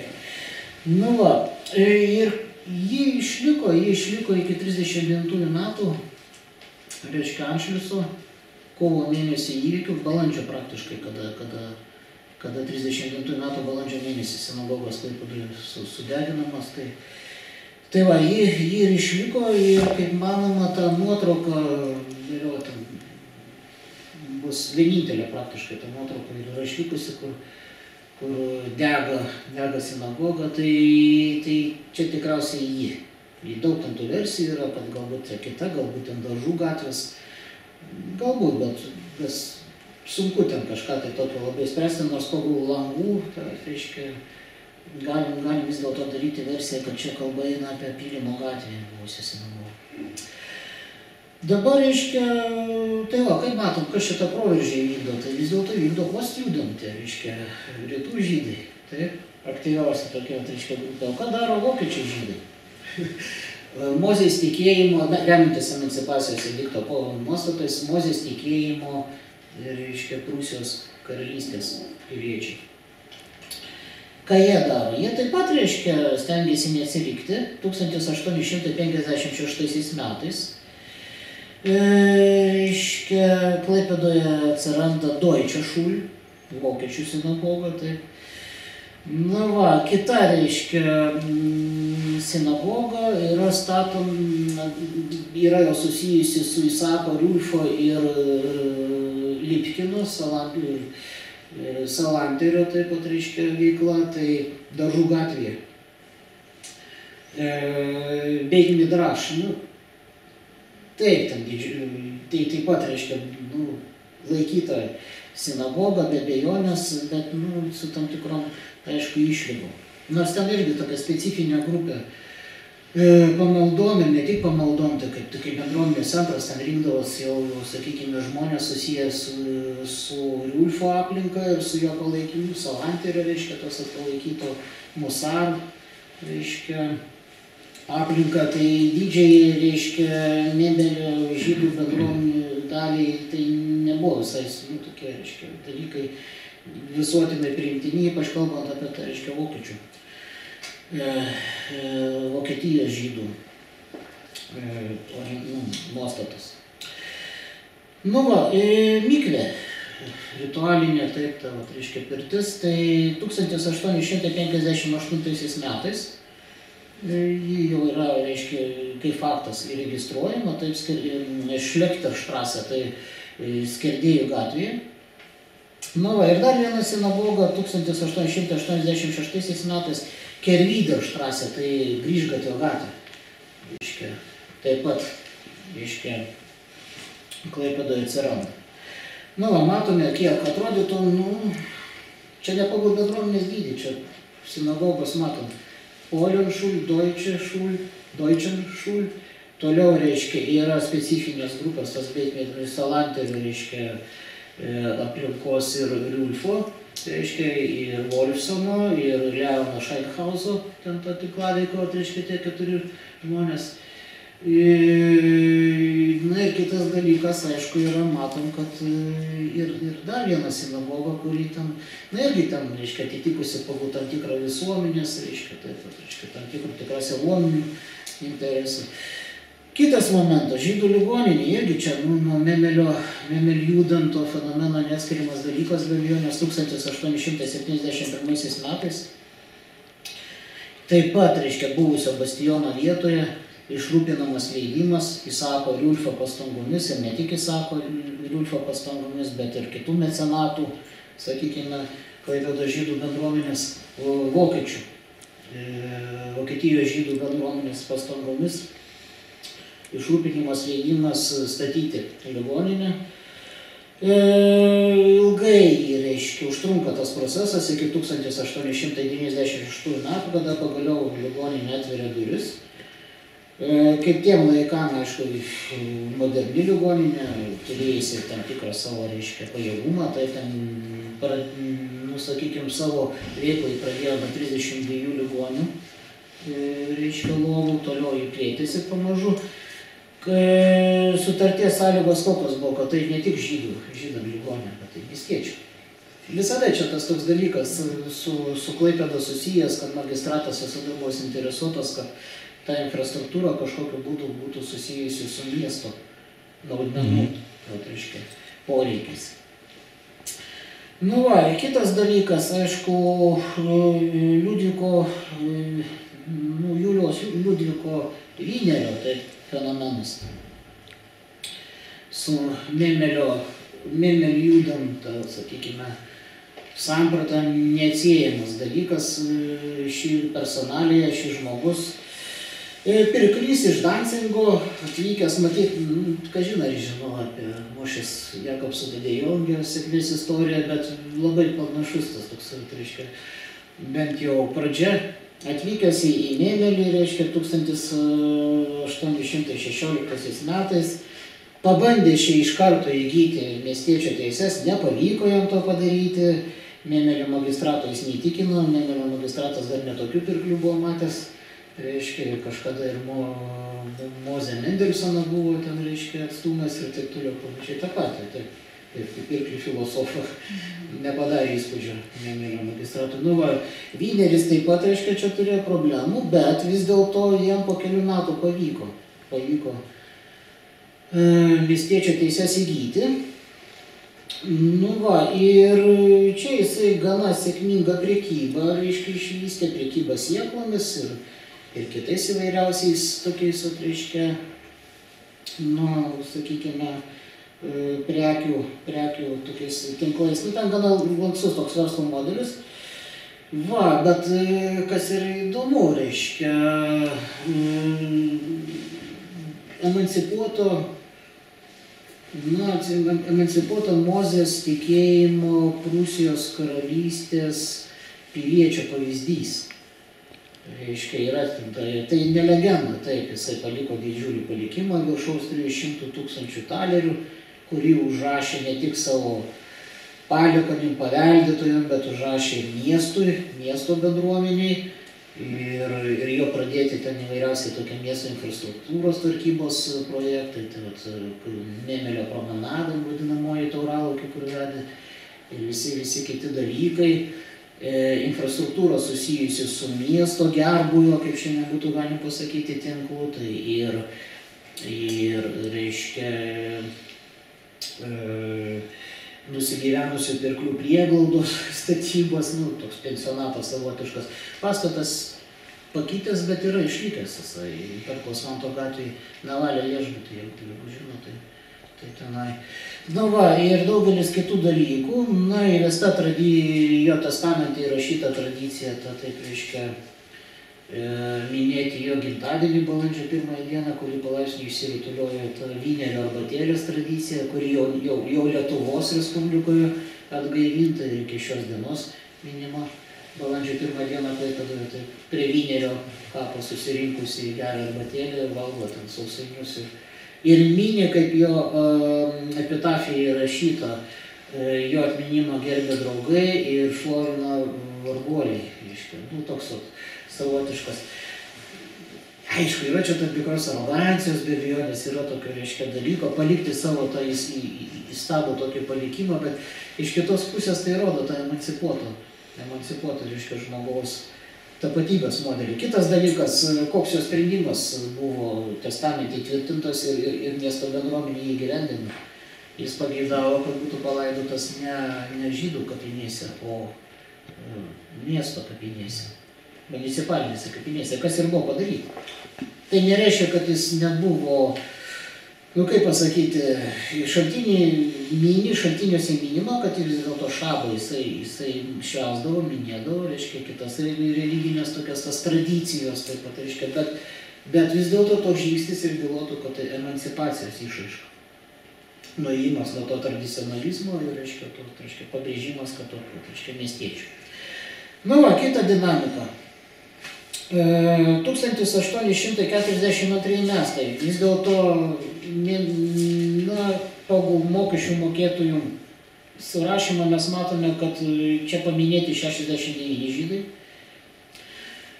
1856 ir 55 metais šis skaičius jau išaugo iki 289 žmonių.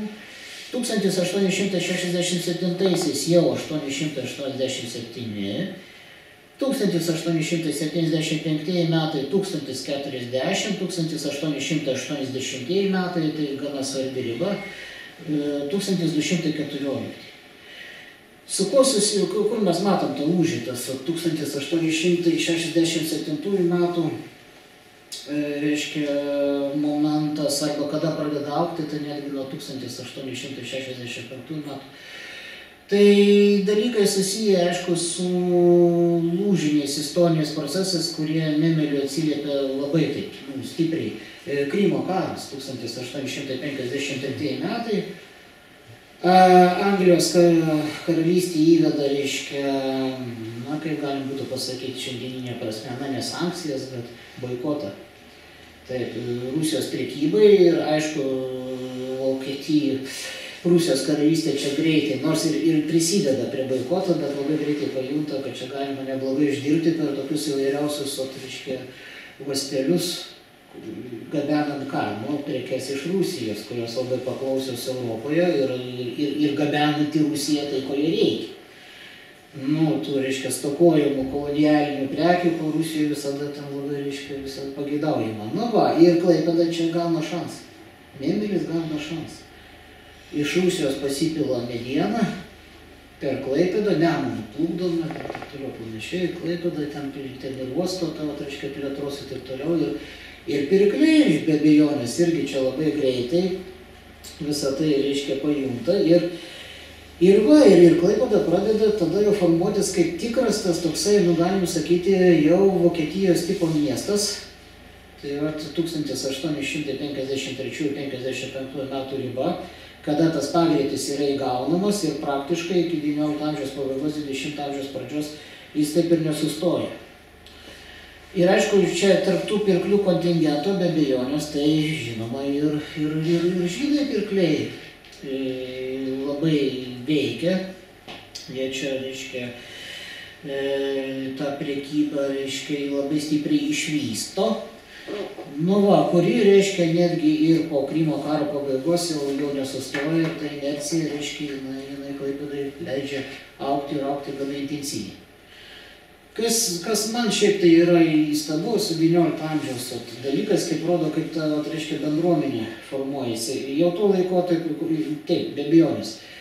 Dar vienas momentas, tai aišku, e, ta, vat, reiškia, invazija, jeigu taip ją galim pavadinti, iš rytų, iš iš, reiškia, Rusijos, Romanų imperijos ir, ir, ir vietinė bendrovė. Įsakas Rulfas čia yra jau gana vėlyvai, vėlyvų laikotarpį suformulavęs tą tokį rebusą Reiškia, kas tas Memelis to laikotarpio, tai vis dėlto Prūsijos ar Rusijos žydų miestas. Nes nemažiau 40 procentų iš tų naujakurių tokių atvykėlių, tai vis dėlto buvo žmonės, žmonės iš, atvykę iš Romanų imperijos. Buvo keletas impulsų. Stipriausias tas impulsas, tai aišku, bėgimas nuo nu, 1881 metai kovo mėnesį įvykiai. Caro nužudimas, taip ir, ir reiškia, pogromai. Ir tada į Klaipėdą bėga ne tiek, sakykime, tos, nu, mm, įvairiausių bendruomenių žmonės, kur ten, reiškia, Lietuvos, bet iš, iš gerokai tolimesnių, reiškia, teritorijų Rusijos imperijos. Ir, ir pasirodo Klaipėdoje tokie žmonės, kurie, nu, labai tradiciškai religingi, kas, kas nebuvo labai būdinga. Ir, Ir, ir, ir kas, kas vokiškoje sąmonėje kolektyvinė asocijavosi su Ostjudentas, su rytų žydų stereotipu. Apranga, reiškia, tradicijų laikymasis, kalbos maniera ir taip toliau ir panašiai. Va, ir Isakas Vilfas tai labai pagavo. Dabar tai, tai šiaip tai staptelė, kas tas Isakas Vilfas, taip, nu, be abejonės, rabinas, taip toliau ir panašiai. Bet kokios tai kultūros žmogus ir kaip jis čia atvyks ir kaip jis iš vis mėmelį atsidūrė ir, ir ką jis čia nuveikė. Tai, tai man atrodo, čia yra 19 amžiaus mėmelio, mėmelio judent kvintesencija. Viename žmoguje, o tarsi taip pat, reiškia, viskas suplaukė. Isakas Ulifas gimęs 1831 metais, kaip mes žinome, Rauiš Holseno miestelėje, Heseno žemėje, e, toks, nu, provincinis miestelis, kalnuotoje tokia vietovė, per jį teka, reiškia, upė, kuri upelis, dubauštinkai, upelis, saulus, reiškia, tai ra, Rauiš, Holsenas vėl, kad irgi mediena plukdyta, tai nu, kažkas panašaus. Va, e, baigęs Marburgo universitetą, e, vėliau studijavęs Bonoje, e, įgyjęs ne tik tais, reiškia, filosofų, kas suprantama, bet ir teisė, baigęs teisės mokslus. Čia svarbus bruožas emancipuotų žydų, Vokietijos emancipuotų žydų aplinkoje, tai buvo, na, rabinas, jis turėjo turėti dar ir kažkokią tai žemišką profesiją kad galėtų pats save išsilaikyti, nebūtų našta bendruomeniai. Jeigu jis dar tokią bendruomenę sudėlė sutelkti, tai čia dar kitas klausimas. Na, vėliau, reiškia, be abejonės jisai e, tarnavo, dirbo, sakykime, vairiausiose tuose, reiškia, e, sinagogų bendruomenėse Vokietijos, bet e, 1865 metais Mėmelio žydų bendruomenė jį pasirenka rabinu iš kelių kandidatūrų, bet būtent jį, vat, reiškia jį. Klausimas, kodėl? Sunku atsakyti. Kažkokie tai sumetimai, kad tai būtų žmogus visai iš kitos aplinkos. Savo kilme jisai safardas, neškenazis. Ir tas temperamentas ir visą kitą matyčia kažkiek tai lėmė. Kitas, kitas dalykas, na, jaunas žmogus, nesusijęs su bendruomenė, Klaipėdas. Ir dar vienas momentas, aš nežinau, gal aš čia taip per drąsiai pasakysiu, bet mano versija tokia. Klaipėdo žydų bendruomenė, magistratas labai vertė susijungti. Vokiečių žydų bendruomenė, Vokietijos žydų bendruomenė ir Ostjudent. Poliam, judant ir toliau panašiai. Dėl tam tikrų įtampų, kultūrinių, tapatybinių dalykų, skirtumų, taip tai buvo labai sunku padaryti. Keletas bandymų. 1858 metais tai bandyta daryti, 1860 metais galų gale vis dėlto tam tikrų, reiškia, prievartos būdų, ten, reiškia, priversinės mokesčiais, taip toliau tai buvo padaryti. Buvo įsteigta sinagogin gemeindė, tai vadinama sinagogos bendruomenė. Jie reikėjo rabino, to rabino reikėjo specifinio žmogaus, kuris, nu, neleistų per daug suartėti tom. Čia tokie, reiškia, tikriausiai todėl jis ir buvo pasirinktas. Kas įvyksta? Jis atvyksta, taip, atvyksta į Mėmelį 1865 metais ir kaip rašo savo atsiminimuose ir savo tame, vat, reiškia, tekste 1882 metais publikuotame, jis atsidūrė visai kitom pasaulyje. Atrodo Vokietija, tai atrodo, nu dar tiesa, ne, ne Vokietijos reichas, Taip, bet na, vis dėlto ta kultūrinė prasme, bet tai yra visiškai kitas pasaulis. Čia jis randa tą tokią emancipuotą žydų visuomenę, kuri daugiau vokiečiai, taip, jie, jie šabanį, jie į sinagogą, visą kitą, jų ten, aišku, tos apėgos jos truputėlį kitokios, ten pagal tą vakarų tradiciją vadinamąją. Ir iš čia randa tą, vat, reiškia, Ostjuden, rytų žydų, reiškia, bendruomenę, kuri gyvena, nu, tokį visai atskirą atrodytų gyvenimą, vienas, viena į kitą tas bendruomenės šnairuoja. Vo- Vokietijos žydai tos Ostjuden žiūri kaip į tokius tradiciškai atsilikusius, paskendusius savo tam tų, reiškia, religinių apmąstymų paieškose. Nu, jiem jie labai keisti ir egzotiški atrodo. Reiškia, tai nereiškia, kad jie ten kažkokius kontaktų neturi, tai buvo santokos ir visą kitą panašiai, bet, bet kažko į tokį jau ten abipusį suartėjimą tikrai kalbėti neišeina. Nu va, o Ostjuden, reiškia, Polinjuden arba ten tas, reiškia, Litvokų kontekstai į tos, reiškia, Vokietijos žydus vėlgi žiūri, kaip į, kaip į nureligėjus, sekularizuotus visiškai. Jie vokiečiai, bet ne žydai. Kažkokie nesuprantamiosios, kažkokios jų ten tos, reiškia, vertybės keistos. Sinagogoje kažkaip elgesi ne tai, nu, suprantat, tai, tai, tie skirtumai labai, ir štai dabar toks uždavinys, ką daryti. Taip. Ir, ir aišku, čia didžiulės problemos. Jis sako, ir Ulfai, jis supranta, kad jo išsilavinimas, ką čia nelabai ką leidžia padaryti, jis leidžiasi į kelionę. Vyksta į Kauną. Na, čia ir su Salanteriu, su Salanteriu susiję dalykai. Į pirmąją kelionę, reiškia, Romanų imperija, pažiūrėti, kaip gyvena, tai, o, tai reiškia, Ostjuden. Ir jam tai palieka labai slogų įspūdį. Jis grįžta iš tos kelionės Kaune, sukristas, e, nu, jam ten organizuojami susitikimai, netgi, reiškia, susitinka su, su Kauno gubernatoriumi, reiškia, Kauno, reiškia, Kauno gubernijos. Ir ten pasikalba su juo, supranta, kad čia nieko nebus, reiškia, bet Ir kitas dalykas, e, štai toje ankstyvojoje Isako ir Ulfo gyvenimo ir abinavimo nemėlyje stadijoje jis užima ganėtinai radikalias pozicijas. Kokias, kad reikia daryti viską, kad e, Ostjuden, reiškia, jie į Milnerį ir tuo pačiu į, į Rytų Prūsiją netvyktų arba jų atvyktų kuo mažiau. Kodėl? Todėl, kad jie, nu, nepritampa su- čia susijusios tam tikros įtampos, antijudaistinės įtampos ir tai yra negerai. Reiškia, e, kitas dalykas, kada įvyksta lūžis. 1881-85 metai, kada į Klaipėdą atbėga labai daug žmonių, kurie bėga nuo pogromų, nu, arba, sakykime, nuo tos pogromų baimės. Ir Riulfas vėlgi leidžiasi į kelionę, tik dabar jau į Vilnių yra jie aprašęs irgi savo, tuose, reiškia, prisiminimas. Iš Vilnius jis grįžta pakilėtas, jis, jis ten, tai reiškia, didžiąją sinagogą aplanko ir taip toliau panašiai. Ir grįžta tokio, tai reiškia, įspūdžio, kad čia, reiškia, nu, tai yra labai, čia yra tikras žydiškumas, jo supratimu. Ir jis visai jau kitaip mąsto, kad čia, reiškia, reikia ne, neriboti, bet reikia saugoti. Bet aplinka yra ne ta, svetima aplinka. Rytų Prūsijoje šitiem, šitiem žmonėm, jo supratimu, na, yra dvi galimybės. Arba emancipuotis, ką jam bus padaryti labai sunku ir tai bus įtampos taip toliau. Arba tik kaip laikinoji tokia apsistojimo vieta, išvykstant kažkur kitur.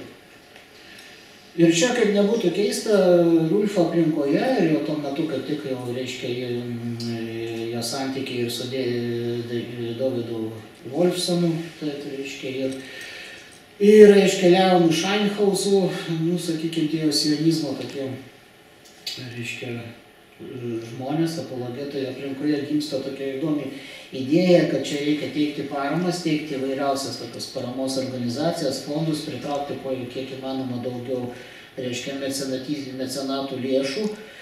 E, Kam, kad leisti šiem žmonėm išvykti laikinai ir toliau sudaryti galimybės jiem, jiem, jiem išvykti nu, išvykti kuo toliau. Tai reiškia, pageidautina, reiškia, tas teritorijas. Nu, ten kalba ne tik apie Palestiną, ką, ko įsakas Rulfas, man, man buvo pačiam keistas skaitant jo tekstus, jisai, jo mintis buvo kokia, kad jie o čia išsilaikys, ką ir jūs išsiųsti į tą pietų naująją Rusiją. Jisai kalba apie tą, reiškia, Azovo jūros baseiną, taip toliau. Čia, o Jekaterinos kažkas tai man labai susišaukia tie ankstesni dalykai, bet, nu, jisai žinojo tikriausiai. Kodėl ten jiem galima pasiruošti, iškeliaujant į Eres Izraelį, nu, reiškia, to, reiškia, pažadėtą į žemę ir, nu, kas gavosi? Gavosi tai, kad nemaža dalis šių žmonių, mm, jie vis dėlto išvyko, bet išvyko ne visai ten. Išvyko Pietų Afrikos, reiškia, Latino Amerikos, Šiaurės Amerikos, kažkas Didžiąją Britaniją, tikėdamėsi paskui reiškia, jos kolonijos pasiekti, nu, vėliau jau reiškia, be abejonės jau, jau dalis, reiškia, pažadėta į žemę pasiekė, va, bet, nu štai, tai vat Riulfo, Riulf čia daug apie jį galima, aišku, pasakyti, bet tas vat momentas, jisai, mano nuomonė, tai, tai žmogus, kurio, kurio, reiškia, esybėje tie dalykai susišaukė. Aš čia keturis, tiesa, Juliaus Vilniuko Vynerio mes neturim, ne, negalim turėti fotografijų, nėra tokių dalykų, reiškia, išlikę, bet štai šių keturių žmonių aplinkoje tai ir sukosi tos vat, Memelio, Memelio judam, sinagogin Gemeinde, tos, reiškia, bendruomenės, taip pat, reiškia, vizijos, idėjos ir jie praktiškai tai darė. Leonas Šainhauzas, va, iš dešinės pirmasis, aš čia radau tokią ankstyvą nuotrauką, nes dažniausiai figuruoja knygose tai iš, reiškia, jau e, laidotuvių paminėjimo, taip, reiškia, paimta tarp senojo susenusio suvargusio žmogaus, visai nepanašaus į kažkokio labai aktyvaus, reiškia, veikėjo. Va, tai kuo jisai, aišku, be abejonės, e, pasaulietis, neradant, bet susijęs susijęs irgi su tam tikrų, reiškia, žmogus atvykęs iš Vitebsko apylinkių į Memelį įsikūręs, irgi gavęs, kaip ir klys, gavęs, reiškia, teises miestiečio. E, bet vėlgi, va, toks atskiras modelis, jeigu tas, sakykime, emancipuotas Vokietijos žydas, kaip jis sako, Sulfas, jisai elgėsi vienaip, e, Leonas Šainkausas, jisai, reiškia, ką daro, jisai veikia irgi savotiškai per įvairiausias mecenėtystės schemas, bet pirmiausia, ką jis padaro, jis į, įsteigia Kerės Afer knygos brolie, nu, kitaip tariant, vokiškoje tradicijoje vadinamoji žydų literatūros ir istorijos draugija. Nieko čia naujo neišrado, tai Berlyne užgimusi tradicija, bet ką pavyko padaryti Leonui Šeinhausui 1896 metais įsteigė šią broliją, jis ją išvysto iki lyderiaujančių pozicijų. Memelio bendruomenė šitojose pozicijose užėmė lyderiaujančių vaidmenį rytų pusėje, nu, galim sakyti, kad ir Vokietijos mastu. Nu, Berlynui nusileido, žinoma, bet paskaitos, įvairiausi renginiai, biblioteka, netgi du bibliotekos skyriai, vienas paskui perduotas miesto reikmėm, kitas, reiškia, religiniai bendruomeniai ir taip toliau panašiai. Tai žmogus, kaip, kaip jis ten apibūdino savo gyvenimo, reiškia, stilių, kredo, reiškia, religijos studijos, ką jis įtarė ir rašė straipsnius ir religiniai spaudoj tikrai nemažai atliko verslas, reiškia, ir bendruomenė. Reiškia, tokiu, tokiu būdu, reiškia, jisai tos dalykus, aišku, toks idealus modelis turėjęs irgi savo problemų, ten turėjo savo požiūrį tam tikrų, kurie ne visur ten sutapo ir taip toliau. Nu, va, pamažu prieinam prie, taip čia dabar, prieinam nuo 20 amžiaus pradžia, didysis karas, tai pirmo pasaulinio karo momentas ir nauja pradžia nauja pradžia Lietuvos Respublikoje. Na, didysis karas, aišku, 14-18 metų kontekstas, čia daug jau mes jau labai nesiplėsim, mobilizacija, tai vadinamoji Liepos krizė 1914 metų, mobilizacija, kuri palėtė didžiąją dalį Vokietijos imperijos, Vokietijos reicho žydų bendruomenių, didžioji dalis vyrų tapo reiškia kariais, kas šiek tiek irgi buvo susijęs su emancipacijos dalykais, nes be, be, be kario ir karininko karjeros emancipuotis vokiečių bendruomenė buvo neįmanoma, bet čia, čia kariniai dalykai, jie jau tas karo faktas jis truputėlį reiškia kitoks. Klaipėdos bendruomenė tai irgi paliečia, nors karas taip ir atrodytų, na, lik ir nuo šaly turėjo palikti, bet mm, Memelis pasiekė 15 metų kovo mėnesį čia, ta trumpa Rusijos imperijos kariuomenės invazija, pridariusi nemažų nuostolių. Ir reiškia.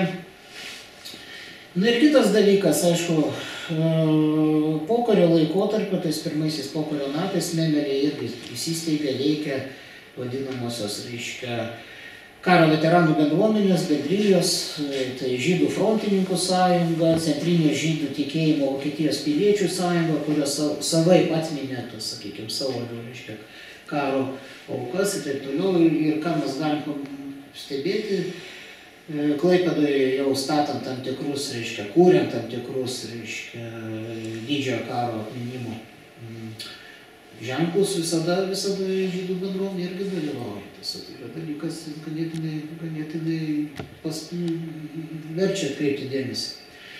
Na, bet yra ir kitas momentas. Momentas susijęs su politiniais, administraciniais klausimais, tai kada tas Mimel judent bendruomenės faktorius jis jau pradeda slopti ir kylant klausimams, ką daryti Lietuvos Respublikoje.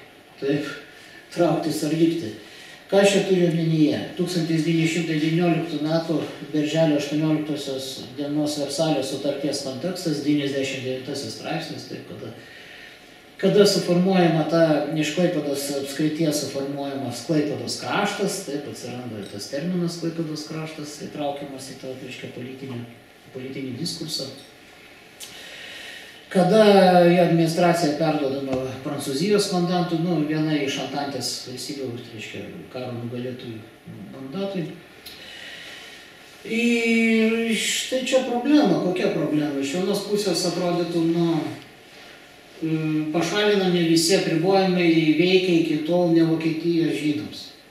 Viskas. Kadangi tai nebe Vokietijos teritorija, tai reiškia Prancūzijos administruojama, reiškia, Klaipėdos krašto, tai reiškia, teritorija, tai ir tie, e, bent jau formaliai, tie, reiškia, įvairiausi pilietiniai žymenys, ką, ką jie netenka prasmės. Kita vertus, e, na, šie procesai sąlygoja ir tam, tikrą, tam tikrus turtinius pasikeitimus, dalis memelių tu sakykime, memelių žydų, jie, jie traukiasi iš Klaipėdos. Nes jie, nu, kaip ta situacija atrodo, jie sieja savo ateitį vis dėlto su Vokietija, su ryšiai, su tinklaveika, dalis jų palieka. Kita dalis lieka, bet jie atsidūrė svarstymus tokios, ką- o kas toliau, kaip čia reiškia. Nes ta pati Klaipėdos krašto ateitis buvo labai neaiški. Čia ir Freištato idėja, ta Lenkijos, taip pat, kažkokius Dancingo modelis, tik tai, tai reiškia, Klaipėdos atveju.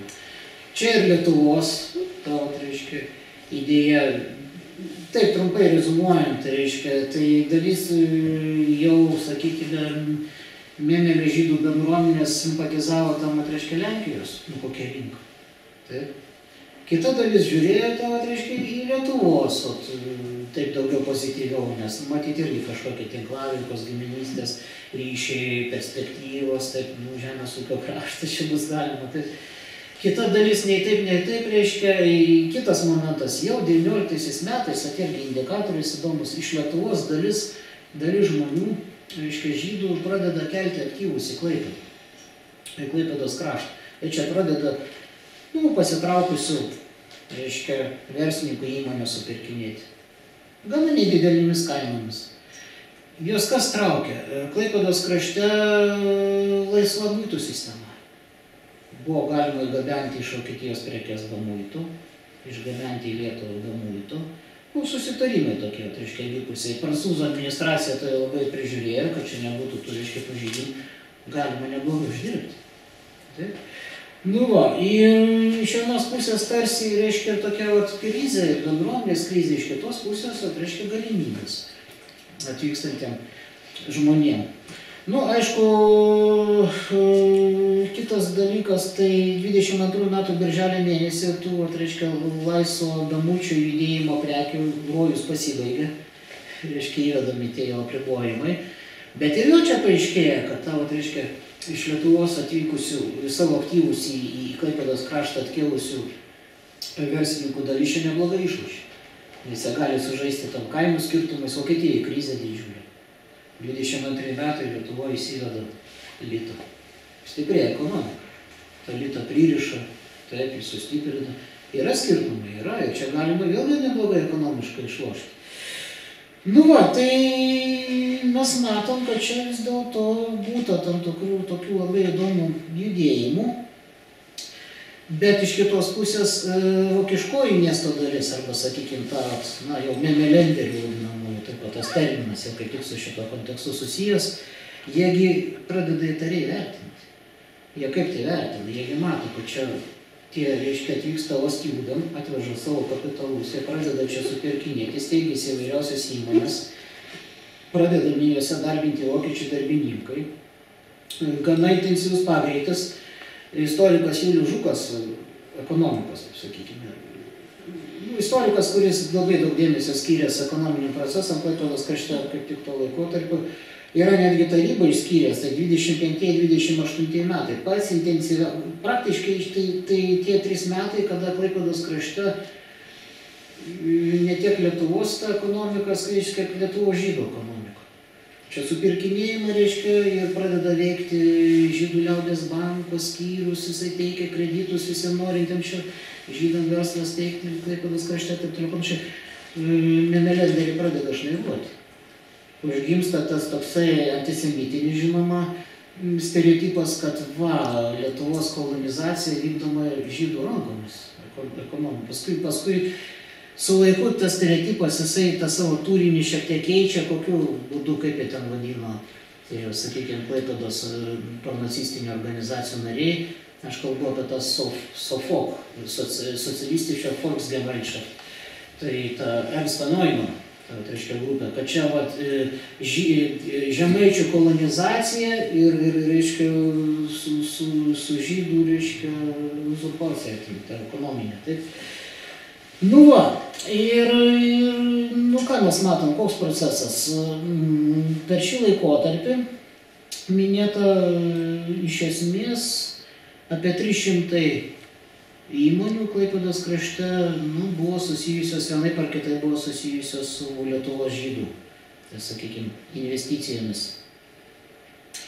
Va, 31 metų duomenimis tas skaičius jisai koreguojasi, ten keičiasi, jis mažėja, nes aišku kodėl, nes vis dėlto Lietuvos valstybės jau palaikomi verslai, jie į Klaipėdą ateina ir jie jau tas, reiškia, žydų, sakykime, verslininkus išstumia dalinai, bet ir tai ten apie 200 įmonių išlieka ir gana stipriose pozicijose.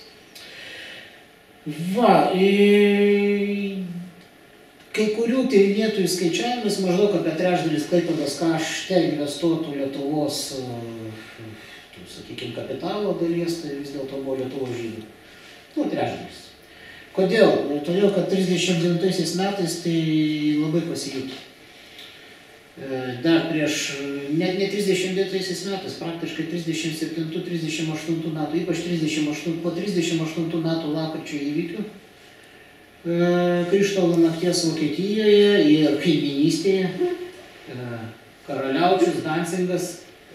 Dancingė taip pat, nors tai aišku Lenkijos ta teritorija valdoma, tai, bet taip pat sinagogų stiklai birėjo ir visą kitą ir panašiai.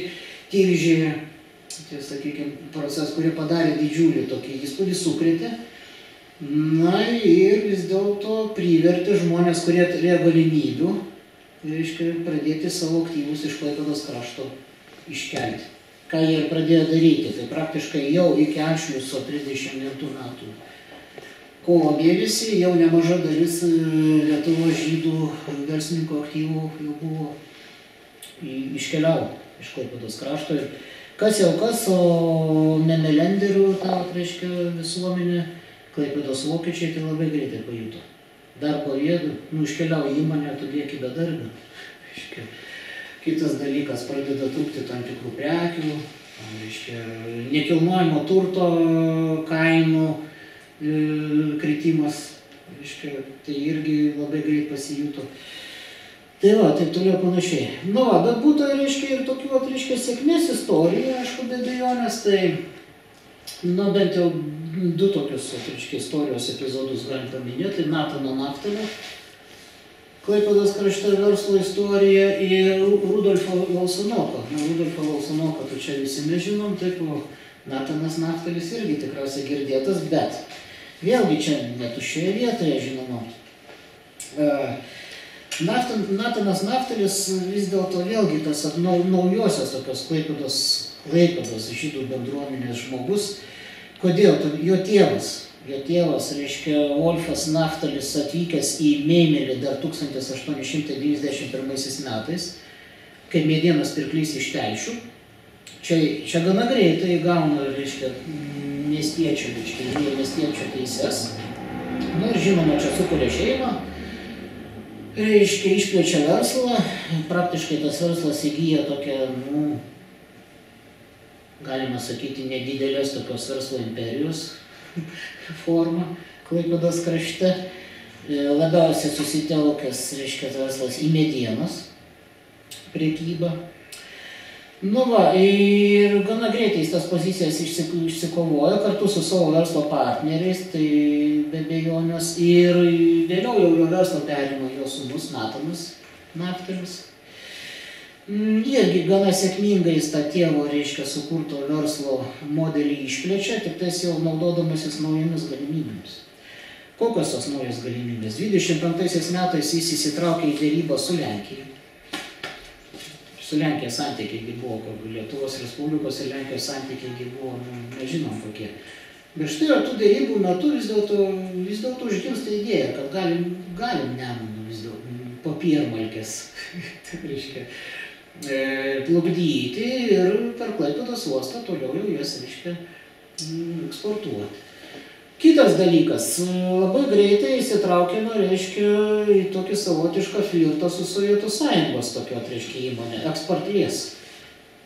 Vėlgi mediena, vėlgi, bet jau reiškia iš Sovietų sąjungos ta mediena per Klaipėdą yra gabenama pavojingi dalykai, labai pavojingi. Ką, ką vėliau Natanas Naftalis žinoma jau ir suvokė, nu, bet, bet, bet tas pelno elementas tikriausiai labai traukia.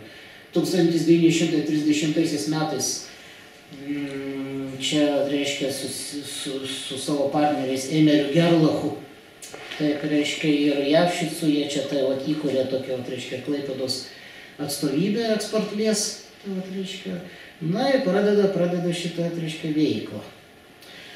Kur investuoja jisai savo tos, reiškia, pelno dalį? Didžiąją pelno dalį jis investuoja į miesto, miesto infrastruktūros ir, ir kitas dalykas - namų statybą. Kitaip tariant, būtai. Panašiai kaip ir šiandieną verslininkai daro. Statomi namai, bet statomi tokie, nu, centrinėse miesto, e, reiškia, dabartinė Liepų gatvė, tai ten keletas naftaliams priklausiusių namų yra išlikę. E, Būtai darbininkam, medienos, o ten, nu, čia toks vat, gana, gana toks sėkmingas dalykas. Aišku, tai, tai prisideda ir prie miesto infrastruktūros ir labai stipriai. Va, e, kaip tam tikras diplomatas jis pasižymė su Portugalija, Lietuvos Respublikos santykių su Portugalija, ten užmesga 1928 metais e, gauna tą Portugalijos garbės konsulų, reiškia tokį apdovanojimą.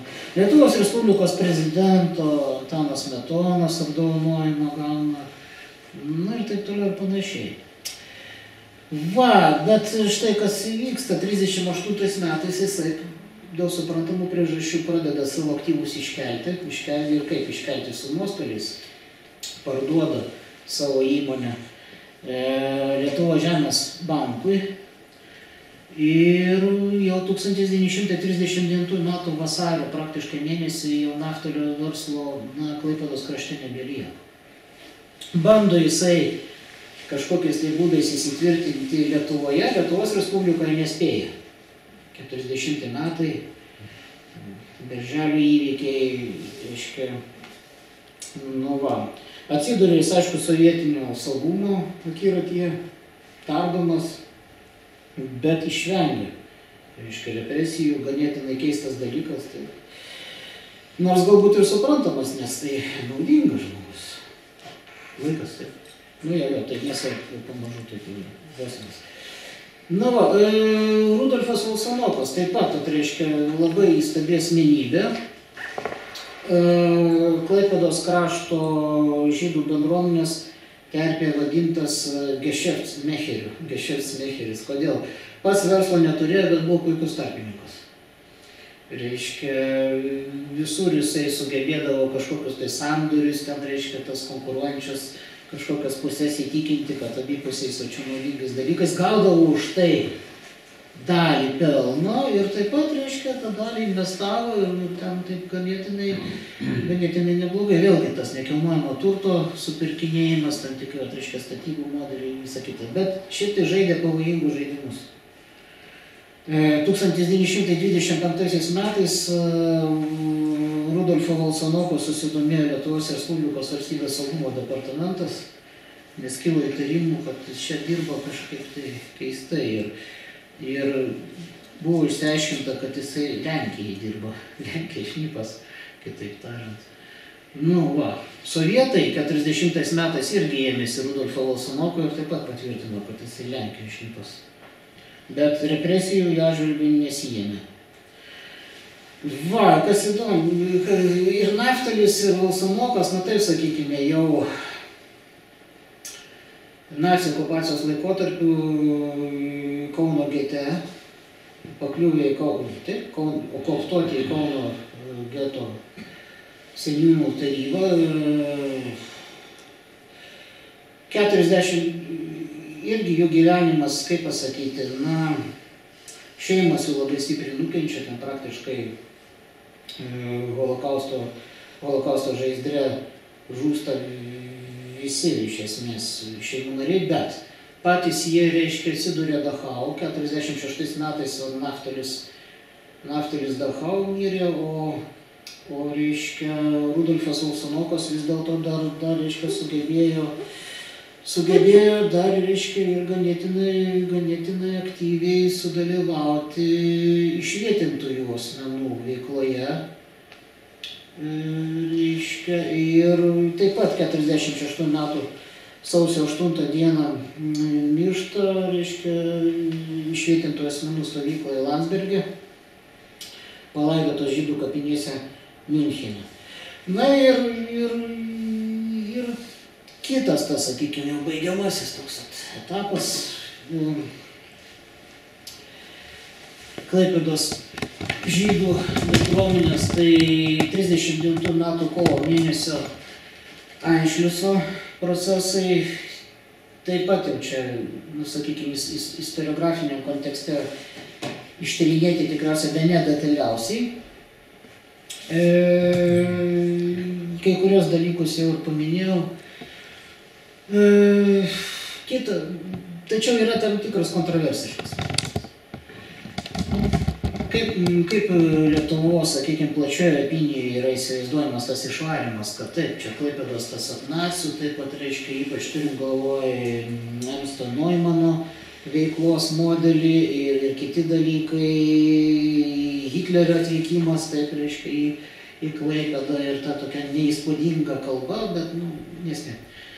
Įspūdinga kalba iš, iš, iš miesto teatro balkono.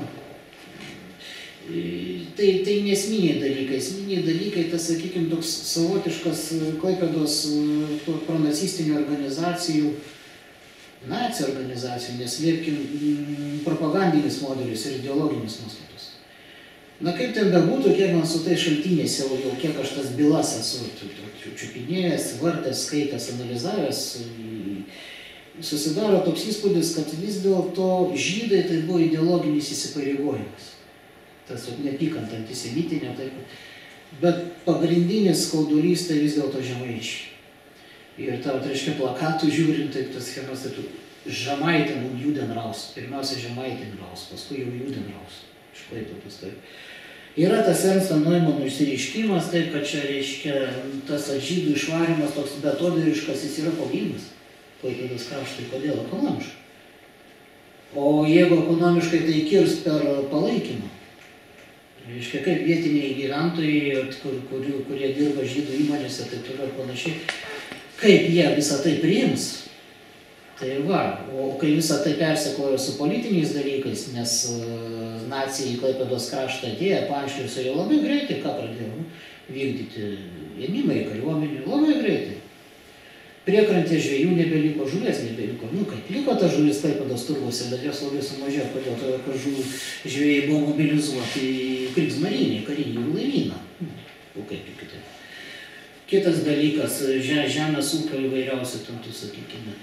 Kada Lietuva susitarė, pagal susitarimą Klaipėdos uoste gauna tą, tai reiškia, laisvąją zoną, tai labai greitai pasijunta skirtumas Klaipėdoje jau veikia maisto kortelės, o, o žemaičių darbininkai Lietuvos zonoje Klaipėdos uoste valo kiaušinius, sviestą, juodą, duoną ir vokiečiai pavydė. Ir visą tai, aišku, siejama su kuo? Nu, su to, reiškia.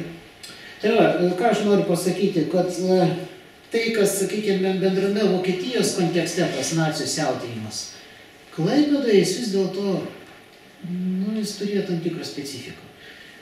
Ir va, prisiliečiant prie Vokietijos žydų atsiminimų, kurie į Klaipėdą pasitraukė, va buvo tokių Trudir Birger atsiminimai ir, kitų, reiškia, žmonių, šeimų, kurie, kurie bėgo iš Berlyno, iš Frankfurto, iš Hanoverio, iš Hamburgo ir, ir į Klaipėdą. Reiškia, jiems čia atrodė ramybės oazė. Lietuvo žydam atrodė baisiai. Ir jie stengiasi palikti Klaipėdą, jeigu tik įmanoma, ne visi tas galimybės turėjo, čia irgi buvo finansai, resursai, taip toliau, kai matome, reikėjo ir vežimo kažkur pasirinkti. Čia labai neblogai uždirbo, tarp kitko, ir, ir visokie Klaipėdos vežikai, vežėjai, kas sunkvežimius turėjo, ką jie irgi tiek įkėlė taksas yra atsiminimuose. Tai, va. tai reiškia, specifika tokia, kad iš Vokietijos, reiškia, iš Vokietijos, sakykime, tuo tokių vidinių sričių į Klaipėdą atvykusiam žydam, čia atrodo, kad čia visai pakenčiam. Ir jie čia savotiškai apsigavo. Nes kada jau tikrai reikėjo bėgti, o tai buvo 39 metų, tai reiškia rugsėjus, lapkritis, kada jau situacija darėsi labai sudėtinga, Tai jau čia buvo rimtos problemos iš tikrųjų, nes reikėjo turėti labai gerus ryšius ir, na, vat, Lietuvos konsulas čia geras, Antanas Kalvaitis atvizas, mes žinom Činiūnės Suhihara, taip, Zvantardyka, Niderlandų konsulo, taip toliau. Klaipėdoje veikia Lietuvos Respublikos konsulas, iki tam tikros ribos, iki, iki sovietų, reiškia, okupacijos Lietuvos Respublikos. Tai jis taip pat vizas, reiškia, Tai va, dalis, dalis Vokietijos žydų vis dėlto per šitas vizas įgyjo galimybę pasiekti Lietuvą ir ten jau ieškoti galimybių iš Lietuvos pasitraukti. Tai va, tai pasitraukti kaipgi vėlgi per Japonijos, reiškia, arba per Niderlandų. Nu, vienas dalykas Japonijos okupuotos tos Kinijos rytis, Šanhajus ir taip toliau, Niderlandų, tai Kiurosavo, tam reiškia, nu, yra tokių, tokių reiškia, pėdsakų iš Klaipėdos žydų pasitraukusių. Tai va, tai tas va tarpujo ir priekulo, tai va toks momentas. Kitas dalykas, dalis vis dėlto Klaipėdos krašto žydų atsidūrė Lietuvoje, nepasitraukė. Bet vėlgi minėtas Naftalis, Monsonokas, Greinhausas ir atsidūrė sovietų įkaitų vietoje. O tada jau reiškia 41 metais nacijų okupacijas reiškia, jau pakliuvo į, į tą visą tinklą įspaustus. Tai va, ir aišku, taip jau, jeigu holokausto kontekstą sekant labai taip greitai, tai Kauno getas, sakykime, ta tokia koncertklaipėdo žydų išlikusių tuo, tai reiškia, žmonių po pirmųjų ten tų žudinių bangos ir taip toliau panašiai, tai vis dėlto Kauno getas, galim sakyti, tam tikra koncentracijos vieta. Dalis dar žmonių Šiaulių gete yra man tekę ten, sakykime, taip pat identifikuoti. Tai va, na, nemaža dalis buvo nužudyti, nužudyti garždų, birželio 24 dieną, e, palangos ir kretingos dalis Jurbarke, Tauragėje, Šilalėje ir Šiekšnai.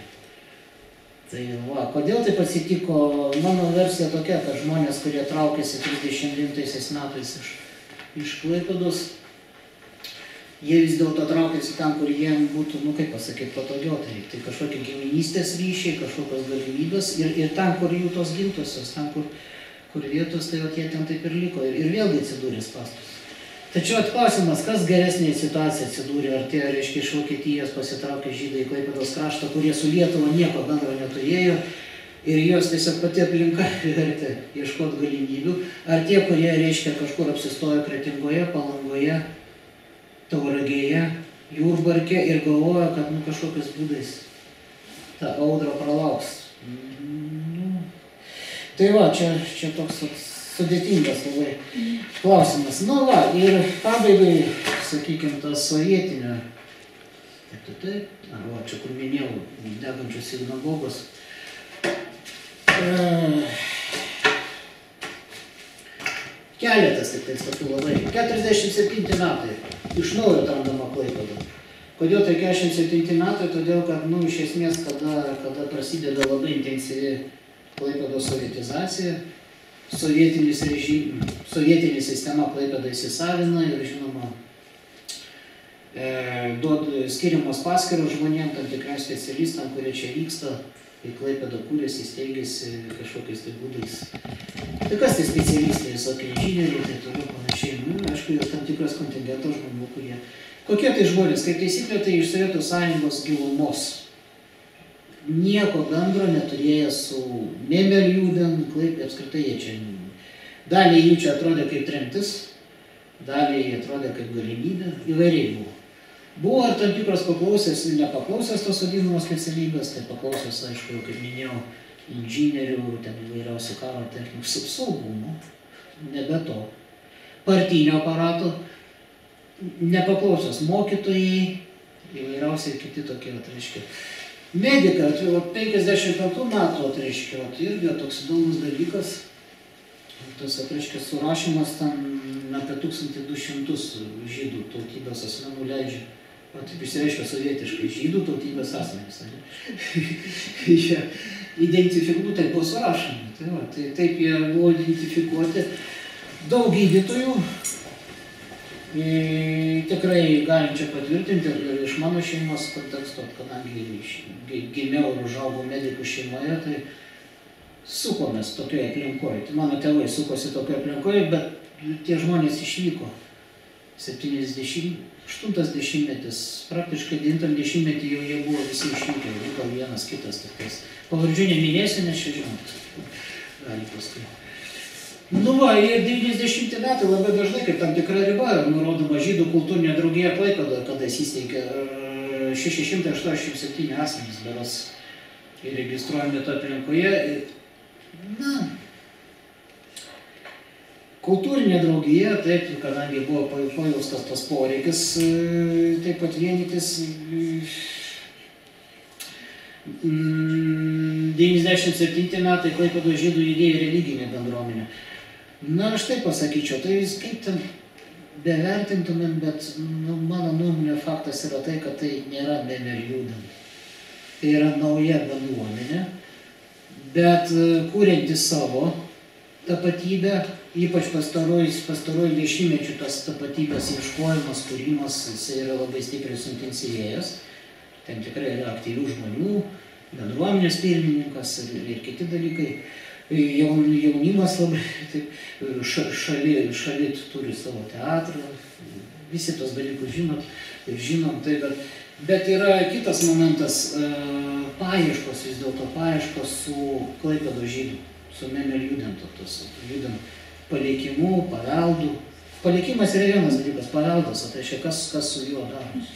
Tai, tai yra gan, ganėtinai tokių įdomių dalykų ir, ir naujų dalykų, kas, kas to pagrindu užgimsta ir aš manau, kad čia, jeigu nebus kažkokiu tai, žinote, kataklizmų, gal visą tai išauks į, į tą tokią naują bendruomenę, kuri bus O bendruomenė tikrai labai įdomi, nes ir tas,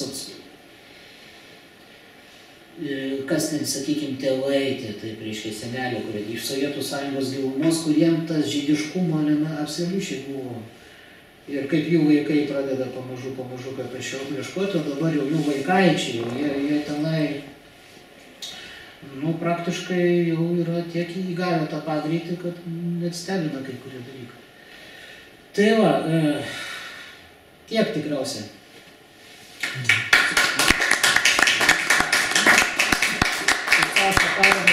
Dvi valandas, tai šiek tiek nu, taip, viršinam. Labai ačiū dak- daktarui už tokią ir detalę e, informaciją, kuri, man atrodo, nėra taip plačiai žinoma mm, visuomenės, visuomenės tarpe. E, Būtent klaipėdas ir, ir tikimės, kad, kad bus išpopuliarinta dar visokiais tokiais populiariais e, straipsniais, leidiniais ir kad čia tikrai sritis labai potenciali. E, Gal mes, nežinau, visiškai trumpiem klausimam, vienam arba dviem turim laiko, bet tokiam, tokiam visiškai minimalistiniam. Aš šiandien po archyvų, tai galva sukasi šiek tiek, bet... Galim. Nu, pagal paskaitą tai sukasi gerai. Taip, jūs paminėt, kad e, 1885 metų atvyko Ostjūrn iš e, į, į Mėmelį. Ar čia buvo iš, ar, ar čia buvo Litvakai iš e, Lietuvos, e, arba iš Ukrainos, arba Taip, tai tas litė, taip, litvakų. Bendras, kad ne, ne iš Lietuvos tą Lietuvos prasme, o turime Mm. galvoje tą litę. Nors ten irgi ten. A, Čia nebūtinai tie 85 metai, čia kada tas mm, viršūnė epogėjus, nes praktiškai nuo 81 metų mm, pradeda labai sparčiai aukti skaičius, 85 metai jau yra nu, bumas. Tai čia iš LDK.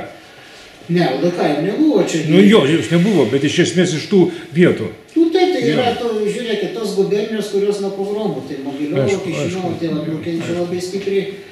E, tai, ką mes vadinam Ukrainos tą adventų, tai va čia tas e, Odesos, visi kiti tokie žmonės.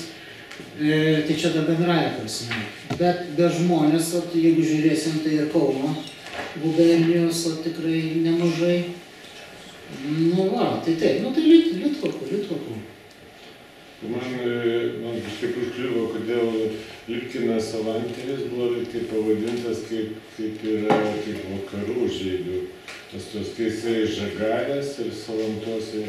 Ne, tai čia ne, ne, ne vakarų žydų, bet jie labai, labai, ger, labai įdomus tandemas susiklostė su Isaku ir Ulfu, kuris emancipuotas vakarų žydų, taip, pavadinkite, tai Vokietijos, taip, reiškia, žydas ir e, Lipkinas Salanteris, reiškia, nu, kaip jau ten bekalbėsim, bet tai vis dėlto, nu, tikrai ne, ne, ne vakarų, be abejonės, tai tas atmosarų judėjimo, ką, nu, įdo- apie dešimt metų, taigi Salandėris gyvena ir veikia Klaipėdoje, na, aišku, jis ten išvyksta, parvyksta, taip toliau, jisai sukosi Rulfo aplinkui. Nors tiesa, klausimas, kas kieno aplinkoje sukosi, tai čia vėlgi toks labai įdomus momentas. Ir vienas ir kitas ten mm, gal, kaip tam vadinasi, konvergencija. Taip. Ir vienas ir kitas gavo savo ten tokių, sakykime, idėjų elementų, kad bet praktinių pobūdžių irgi jie gi papildo vienas kitą ir labai stipriai. Vėlgi ta sinagoga, mano, tas Beit Midrašas 1875 metais, gi taip ir atsirado. Kaip ta tokia studijų vieta, reiškia, Klaipėdoje. Nu, įdomus dalykas iš tikrųjų. Tai va. Yra, yra teorija, kad štai Latvijos žydai, būdami Vokietijos įtakoje, iš kur atėjo Haskala, o Žagarė visiškai pasienį, kad tais Latvijos žydai prisiskiria savo Žagarę negu kad Lietuvai ir, tada, Uršo. kad, ten, kad ten tas pats Litkinas, reiškia, buvo tom erezijom neortodoksiniam užsikrėtę ir, ir, ir kaip Markas Zingeris nesitavo kaž- kažkokią tautosagą, kad e, žagarės, žagarės žydai šabo neboja, tik kelias rūko, bazdelės krato. Kažką